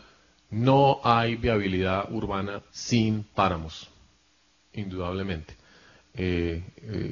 y eso se puede entender muy rápidamente en términos económicos. hay que invertir en la conservación, en la restauración de los páramos y en el monitoreo del comportamiento hidrológico cuando menos. Eso es una tarea pues, que, desarrollamos en el Sistema Nacional Ambiental y que corresponde en gran medida a la parte técnica del IDEAM. Em, pero sí, digamos, los páramos son fundamentales y centrales y un elemento adicional, la conectividad entre páramo y bosque, que es también eh, en ese ecotono es donde gran parte de la eh, condensación ocurre y pues la idea que el páramo es la fábrica de agua pues es una imagen pedagógica, pero realmente el ciclo del agua es completo y hay recarga en muchas partes, hay descarga en otras, y la investigación hidrológica, por ejemplo, eh, necesita inversiones importantes en este país. Sí, mire, eh, la pregunta suya nos, daría la posibilidad de estarnos aquí hasta hasta medianoche y, caería muy bien. Y, caería muy bien en estos momentos en que estamos ante posibilidades grandes eh, para el país, con el modelo de desarrollo, etcétera. Eso va a ser difícil, porque volvemos a lo mismo. Yo estoy un soy un convencido, y lo he dicho público y me reafirmo, que en nuestro país, mientras no cambie la ecuación del que tiene el poder, tiene la razón, las cosas no van a funcionar. Entonces, bajo eso, podemos mirar qué se podría hacer. ¿Ok? Yo creo que elevar el capital intelectual, es decir, entre más posibilidad haya que la gente tenga un nivel de educación mayor, el país va a mejorar. Eso será a largo plazo a, largo, a, corto plazo, pues mirar a ver cómo hacemos para, para, convencer, por ejemplo, a las autoridades de, de, Bogotá y de las grandes ciudades En la diapositiva le mostré las grandes ciudades todo el problema que tienen. Mire, es un asunto de sentido común, decía mi, mi charla. De sentido común. Es decir, el acueducto de Bogotá es de las empresas más, es decir, más exitosas en cuanto a, a vender un producto. Le regresa a las corporaciones creo que 0,36 centavos por cada eh, metro cúbico de agua o cada litro y nos cobra cada uno a 2.300. Es un negociazo. Es decir, con que dedicara un poquitico a comprar lo que queda de Cuenca de Páramo, que ya ha mostrado eh, eh, Gonzalo, está con títulos de mineros, sería un negociazo para el futuro insistir en que la deforestación a la biodiversidad es el cáncer, la corrupción a la administración transparente es el cáncer. Es decir, disminuir la, corrupción y, y plantear ante estas entidades que se tomen las decisiones un tanto equilibradas. Mire, le pongo dos casos. El páramo de Perijá, la serranía de Perijá, son 2.400 hectáreas he estado sentado en mesas con los representantes de las carboneras y me dicen, ¿cuánto vale eso? Le digo yo, nada. Porque hay tres o cuatro dueños y esos se pueden sentar y con esos cuatro dueños se les, compra esas 2.500 hectáreas y se dejan. Todo el sistema hídrico del Cesar drena hacia el lado colombiano y todo eso es la serranía de Perijá. O sea que todas esas poblaciones necesitan ese recurso. Eso es una cosa de elemental situación. Pero no ha habido poder humano para que se tome la decisión. Las carboneras dicen cuánto vale. Y en lugar de sembrar 10.000 arbolitos, echarle agua y a la semana se sequen, pueden hacer mitigación por eso. Entonces, no hablemos de modelos de desarrollo, hablemos del término. Dentro del estado de corrupción en que estamos y que nos movemos, y la apatía, porque aquí el que tiene el poder es el que tiene la razón, pueden haber algunas soluciones. Pero tenemos que proponer que haya un poquito de coordinación en el país hay una comisión reguladora de agua. Miren, en países como México son los puestos más peleados. Aquí ni siquiera nos damos cuenta, porque la Comisión Reguladora de Agua lo que hace es ponerle precio a las tarifas, cuando debía estar trabajando con las entidades que protegen verdaderamente. Entonces es simplemente mirar cómo hacemos para mejorar un poquito la transparencia y la pulcritud en estas decisiones. El caso de Bogotá, ahorita que hay un gobierno que dicen que escucha, pues ojalá que alguien le pase esto a nuestro amigo y colega Gerardo Ardila. A ver si por fin eh, invierten algo. ¿Ok? Porque van a invertir que mil millones en, el cambio climático. Pues si invierten siquiera 500 en comprar todas esas tierras arriba. Y por ejemplo, insistir en que el acueducto opere transparentemente. En ningún país organizado los acueductos regionales, municipales o locales se acaban. En cambio en Bogotá sí acabamos con el granizo, creo que acabamos con Vitelma, estamos que acabamos con el otro. Entonces uno no se explica, uno no se dice, bueno, ¿cómo es posible? ¿Cuál es la situación? Pues de mucho pesar y mm, un poquito de optimismo, pensar que en la medida en que se mejore el capital intelectual, podemos presionar a nuestros representantes. Eh, un poco más corto. Eh, el, el, futuro, Carlos, eh, eh, puede ser seguir tomando estas botellas de agua que ustedes muy gentilmente nos han traído y de pronto terminar bañándonos con el contenido de estas, si, si no se toman las, las decisiones y las estrategias de conservación, que yo creo que en la conservación es donde hay que trabajar. El tema de la restauración, si, si, si, si se hiciese un estudio de cuánto vale restaurar y cuánto vale conservar, yo creo que se invierte menos recurso en conservar que lo que vale restaurar, y si se logra restaurar ese ecosistema como estaba originalmente. Eh, ¿Qué pienso yo sobre eso? Tengo que citar eh, un Twitter que llega hace una hora del senador Juan Lozano que dice, urge ley que proteja los páramos en Colombia. Está siguiendo este foro y entonces está solicitando que se salga esto rápidamente. Han llegado muchísimas preguntas eh, para cada uno. Hay muchas para Brigitte, hay una, hay una que quiero hacer específicamente para, para Orlando, Rangel, eh, para que esto tenga salsa y color. Eh, hay otras para Gonzalo. Quiero resumir a cada uno, digamos, como tres preguntas básicas centrales en esto. A, Brigitte hay, varias preguntas, hay una, que me parece muy interesante, pero hay varias dirigidas al, papel del Instituto von Humboldt en esta delimitación de páramos. Y alguien pregunta, bueno, hay preguntas sobre la concepción de socioecosistema de los páramos. Y, hay una pregunta, digamos, clave, Brigitte, en esto, y es eh, que si al Instituto von Humboldt le cae, le cae en este momento alguna responsabilidad pública frente a asuntos como la recuperación de los páramos y el mantenimiento de las aguas en la relación que actualmente establece con el Ministerio de Medio Ambiente. Eh, la, responsabilidad pública del instituto tiene que ver con la producción de conocimiento. Es un instituto de investigación.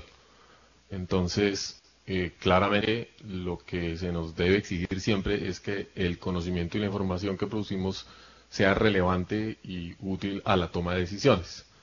Eh, pero directamente, en términos del manejo, la gestión o las decisiones político-administrativas, en, caso, en, el caso del manejo del agua, de cualquier servicio ecosistémico, de la tarea de restauración, no. Esa es una tarea de las corporaciones autónomas, es una tarea del mismo ministerio.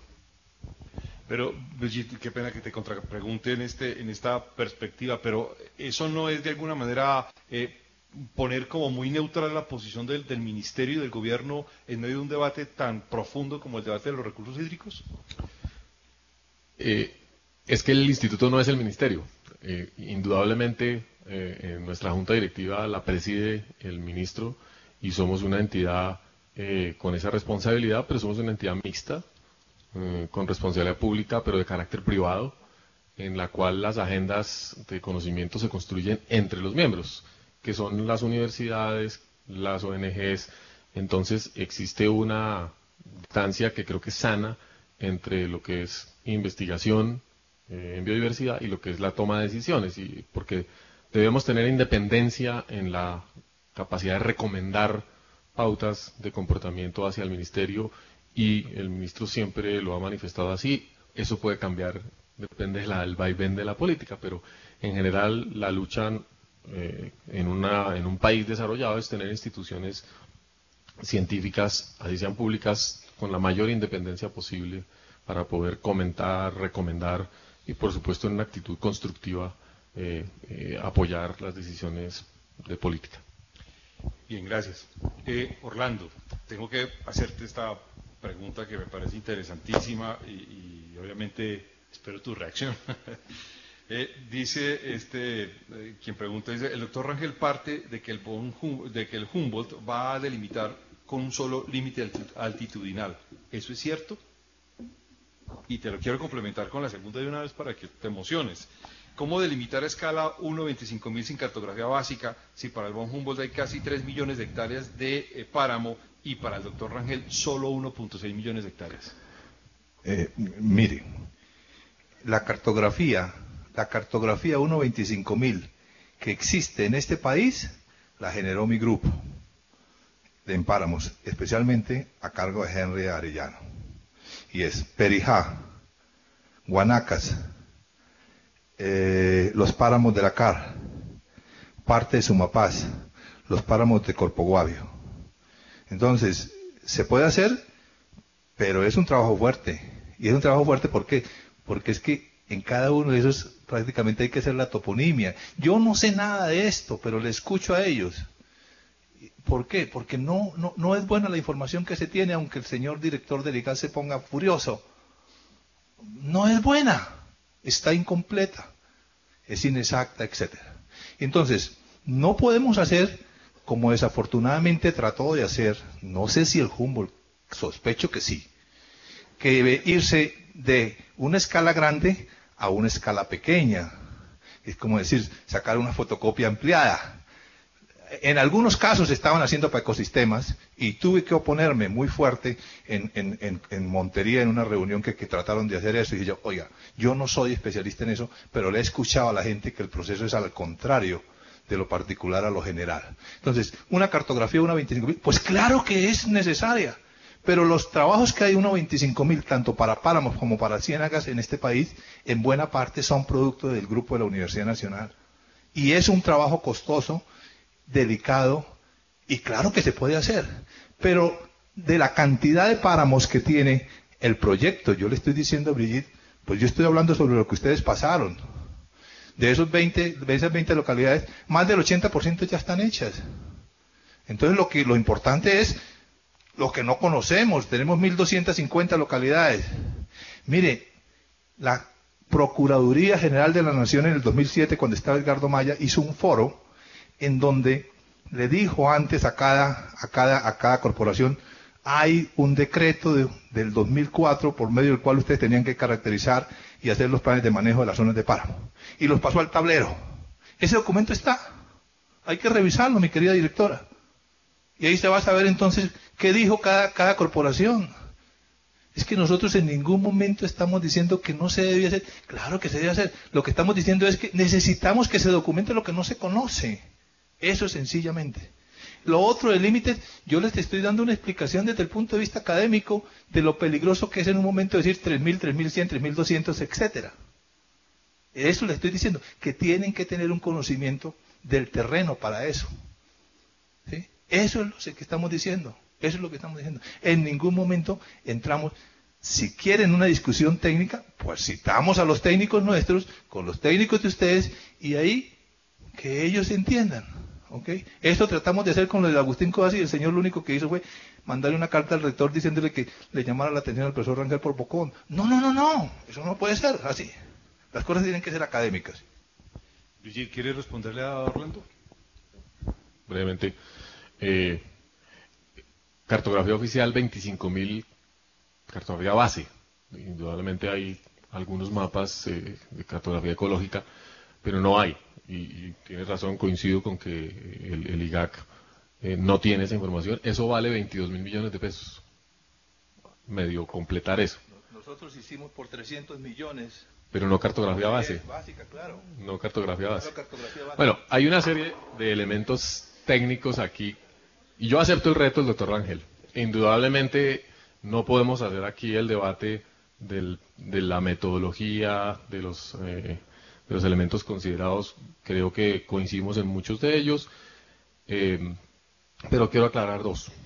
Primero, el instituto no recomendará ni ha recomendado nunca una cota altitudinal. Eh, coincidimos, cada páramo tiene sus condiciones ecológicas eh, y la, conformación, tanto geológica, la historia, de, la formación de la cordillera, etcétera, etcétera. Todo eso son elementos que hemos considerado.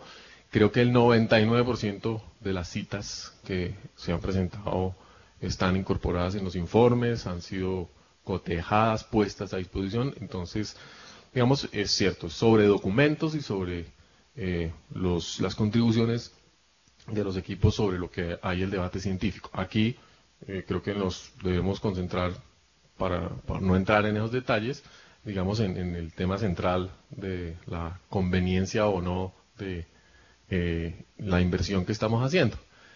Eh, me preocupa, sí, la segunda pregunta, la segunda parte de la pregunta eh, que tiene que ver con el proceso metodológico, que tengamos cifras tan distintas de páramo, de 3 millones de hectáreas versus 1.7.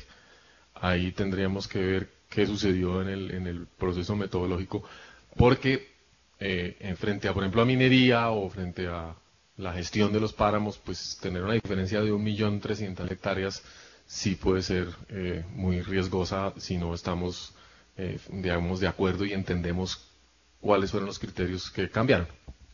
Perdón, mira, mm, yo creo que en mi diapositiva yo dije muy claro que eso era tomado de Jean Lutain cuando propuso el libro sobre páramos.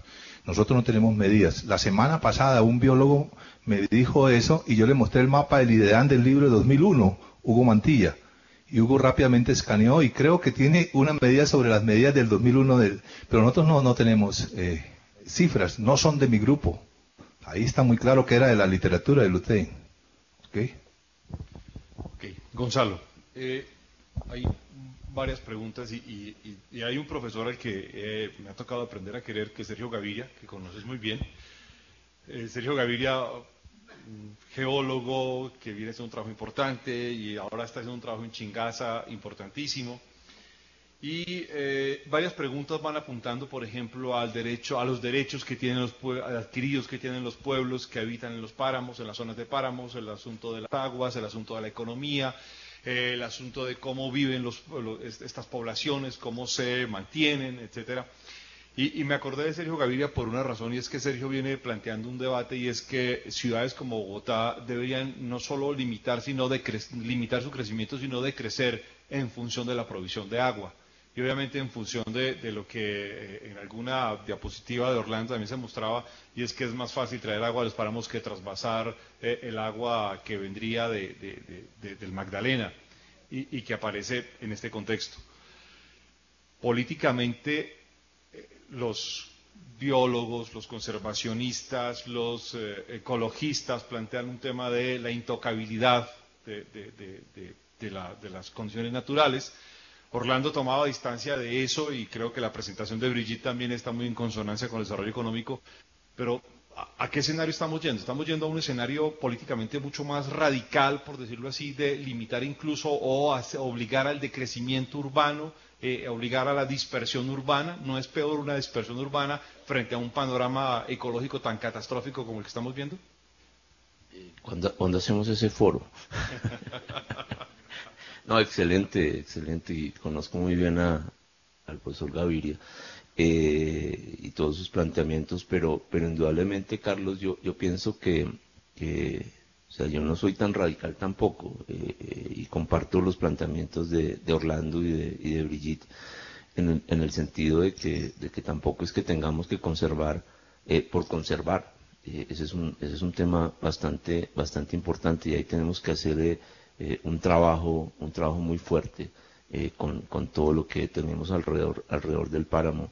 Indudablemente hay, unas zonas en donde por los elementos eh, biológicos, por los elementos sociales, por los temas económicos, eh, eh, necesitamos protegerlos de una manera muy rápida antes de que esa representatividad que está en esas zonas de páramo se pierda.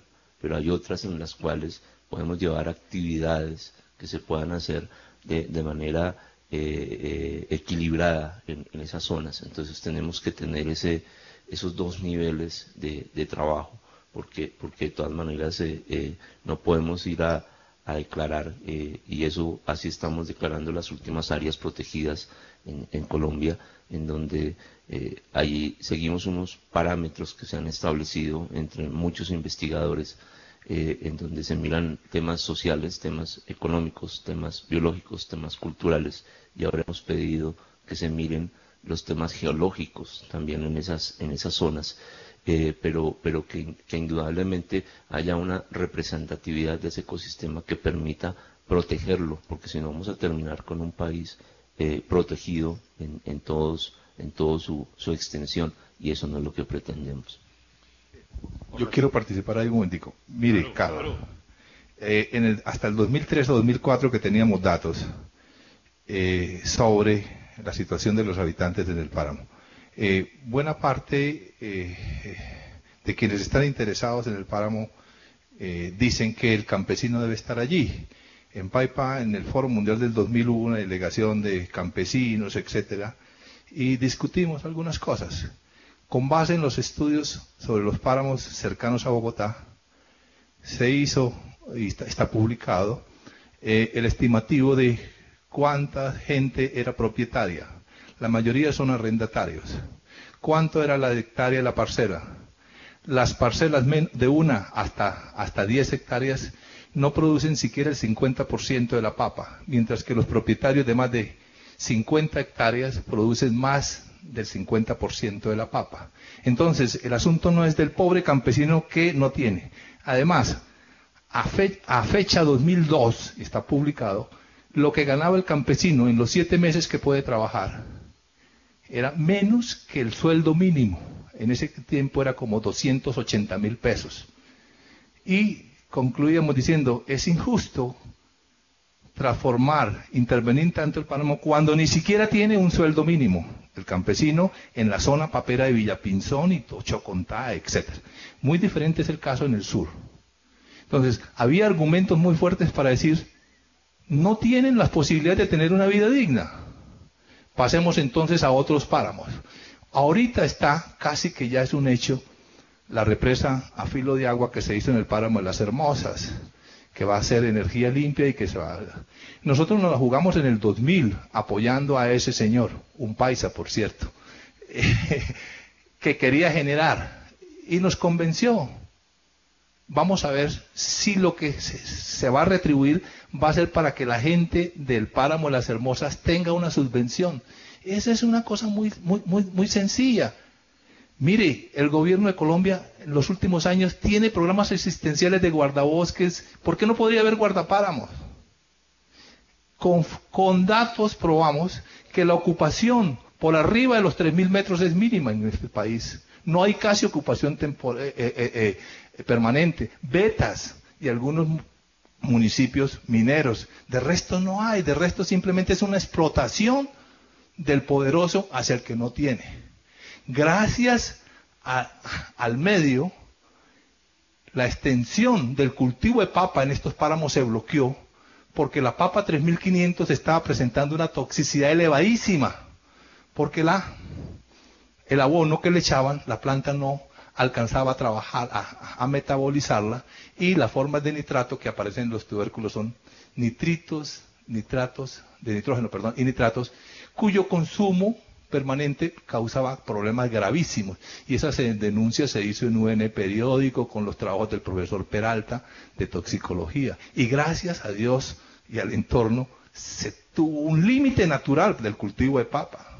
Entonces el asunto no es así decir de que no, que es que un poco de desposeídos van a quedar sin nada. No, este país, gracias, gracias a nuestros gobernantes, tiene muchos programas asistenciales ¿Cómo no vamos a lograr que a los guardapáramos, a la gente que, esté allí, se le pueda dar un, sueldo mínimo, un sueldo con que pueda vivir? Claro que se puede. Así como tenemos las madres caberas de familia, todas esas cosas. Vaya a cualquier pueblo de la costa.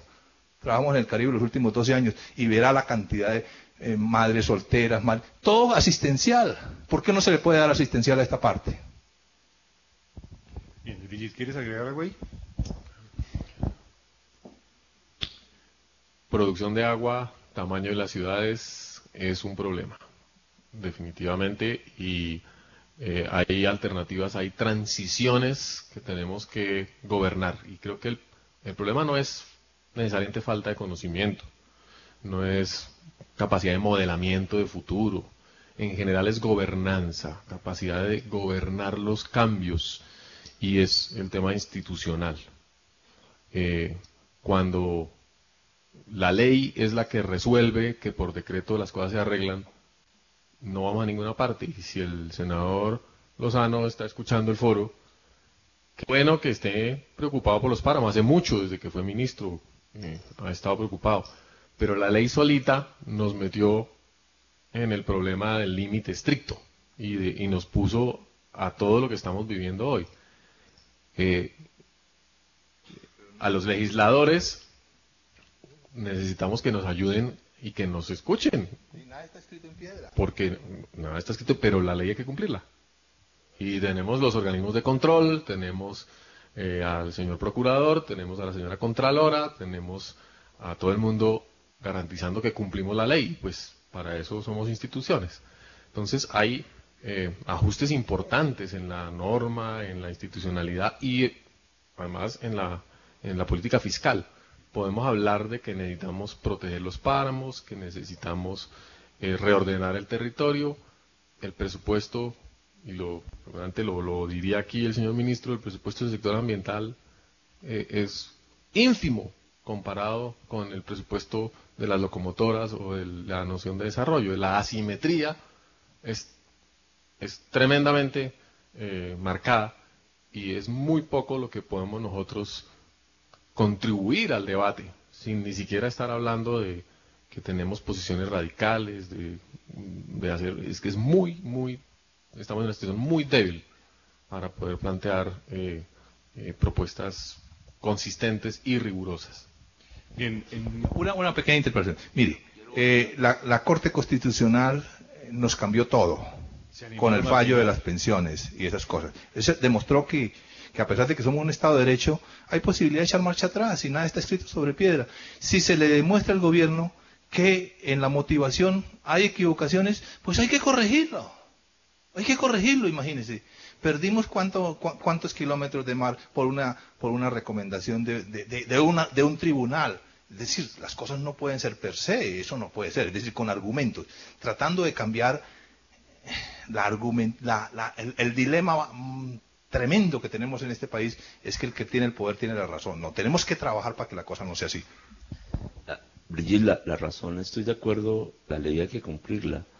La ley no dice que la delimitación de los páramos en Colombia la tiene que hacer el Instituto Humboldt, dice que, la tiene, que hay que delimitarlos, y el plan de desarrollo del presidente de la República dice que hay que delimitar los páramos, pero uno puede tener la capacidad de decirle que ya están delimitados los páramos como el profesor Rangel se lo está mostrando hoy, y entonces uno, uno ahí le argumenta, vamos a cumplir la ley, ya le podemos entregar la información de los que ya se puede entregar la información.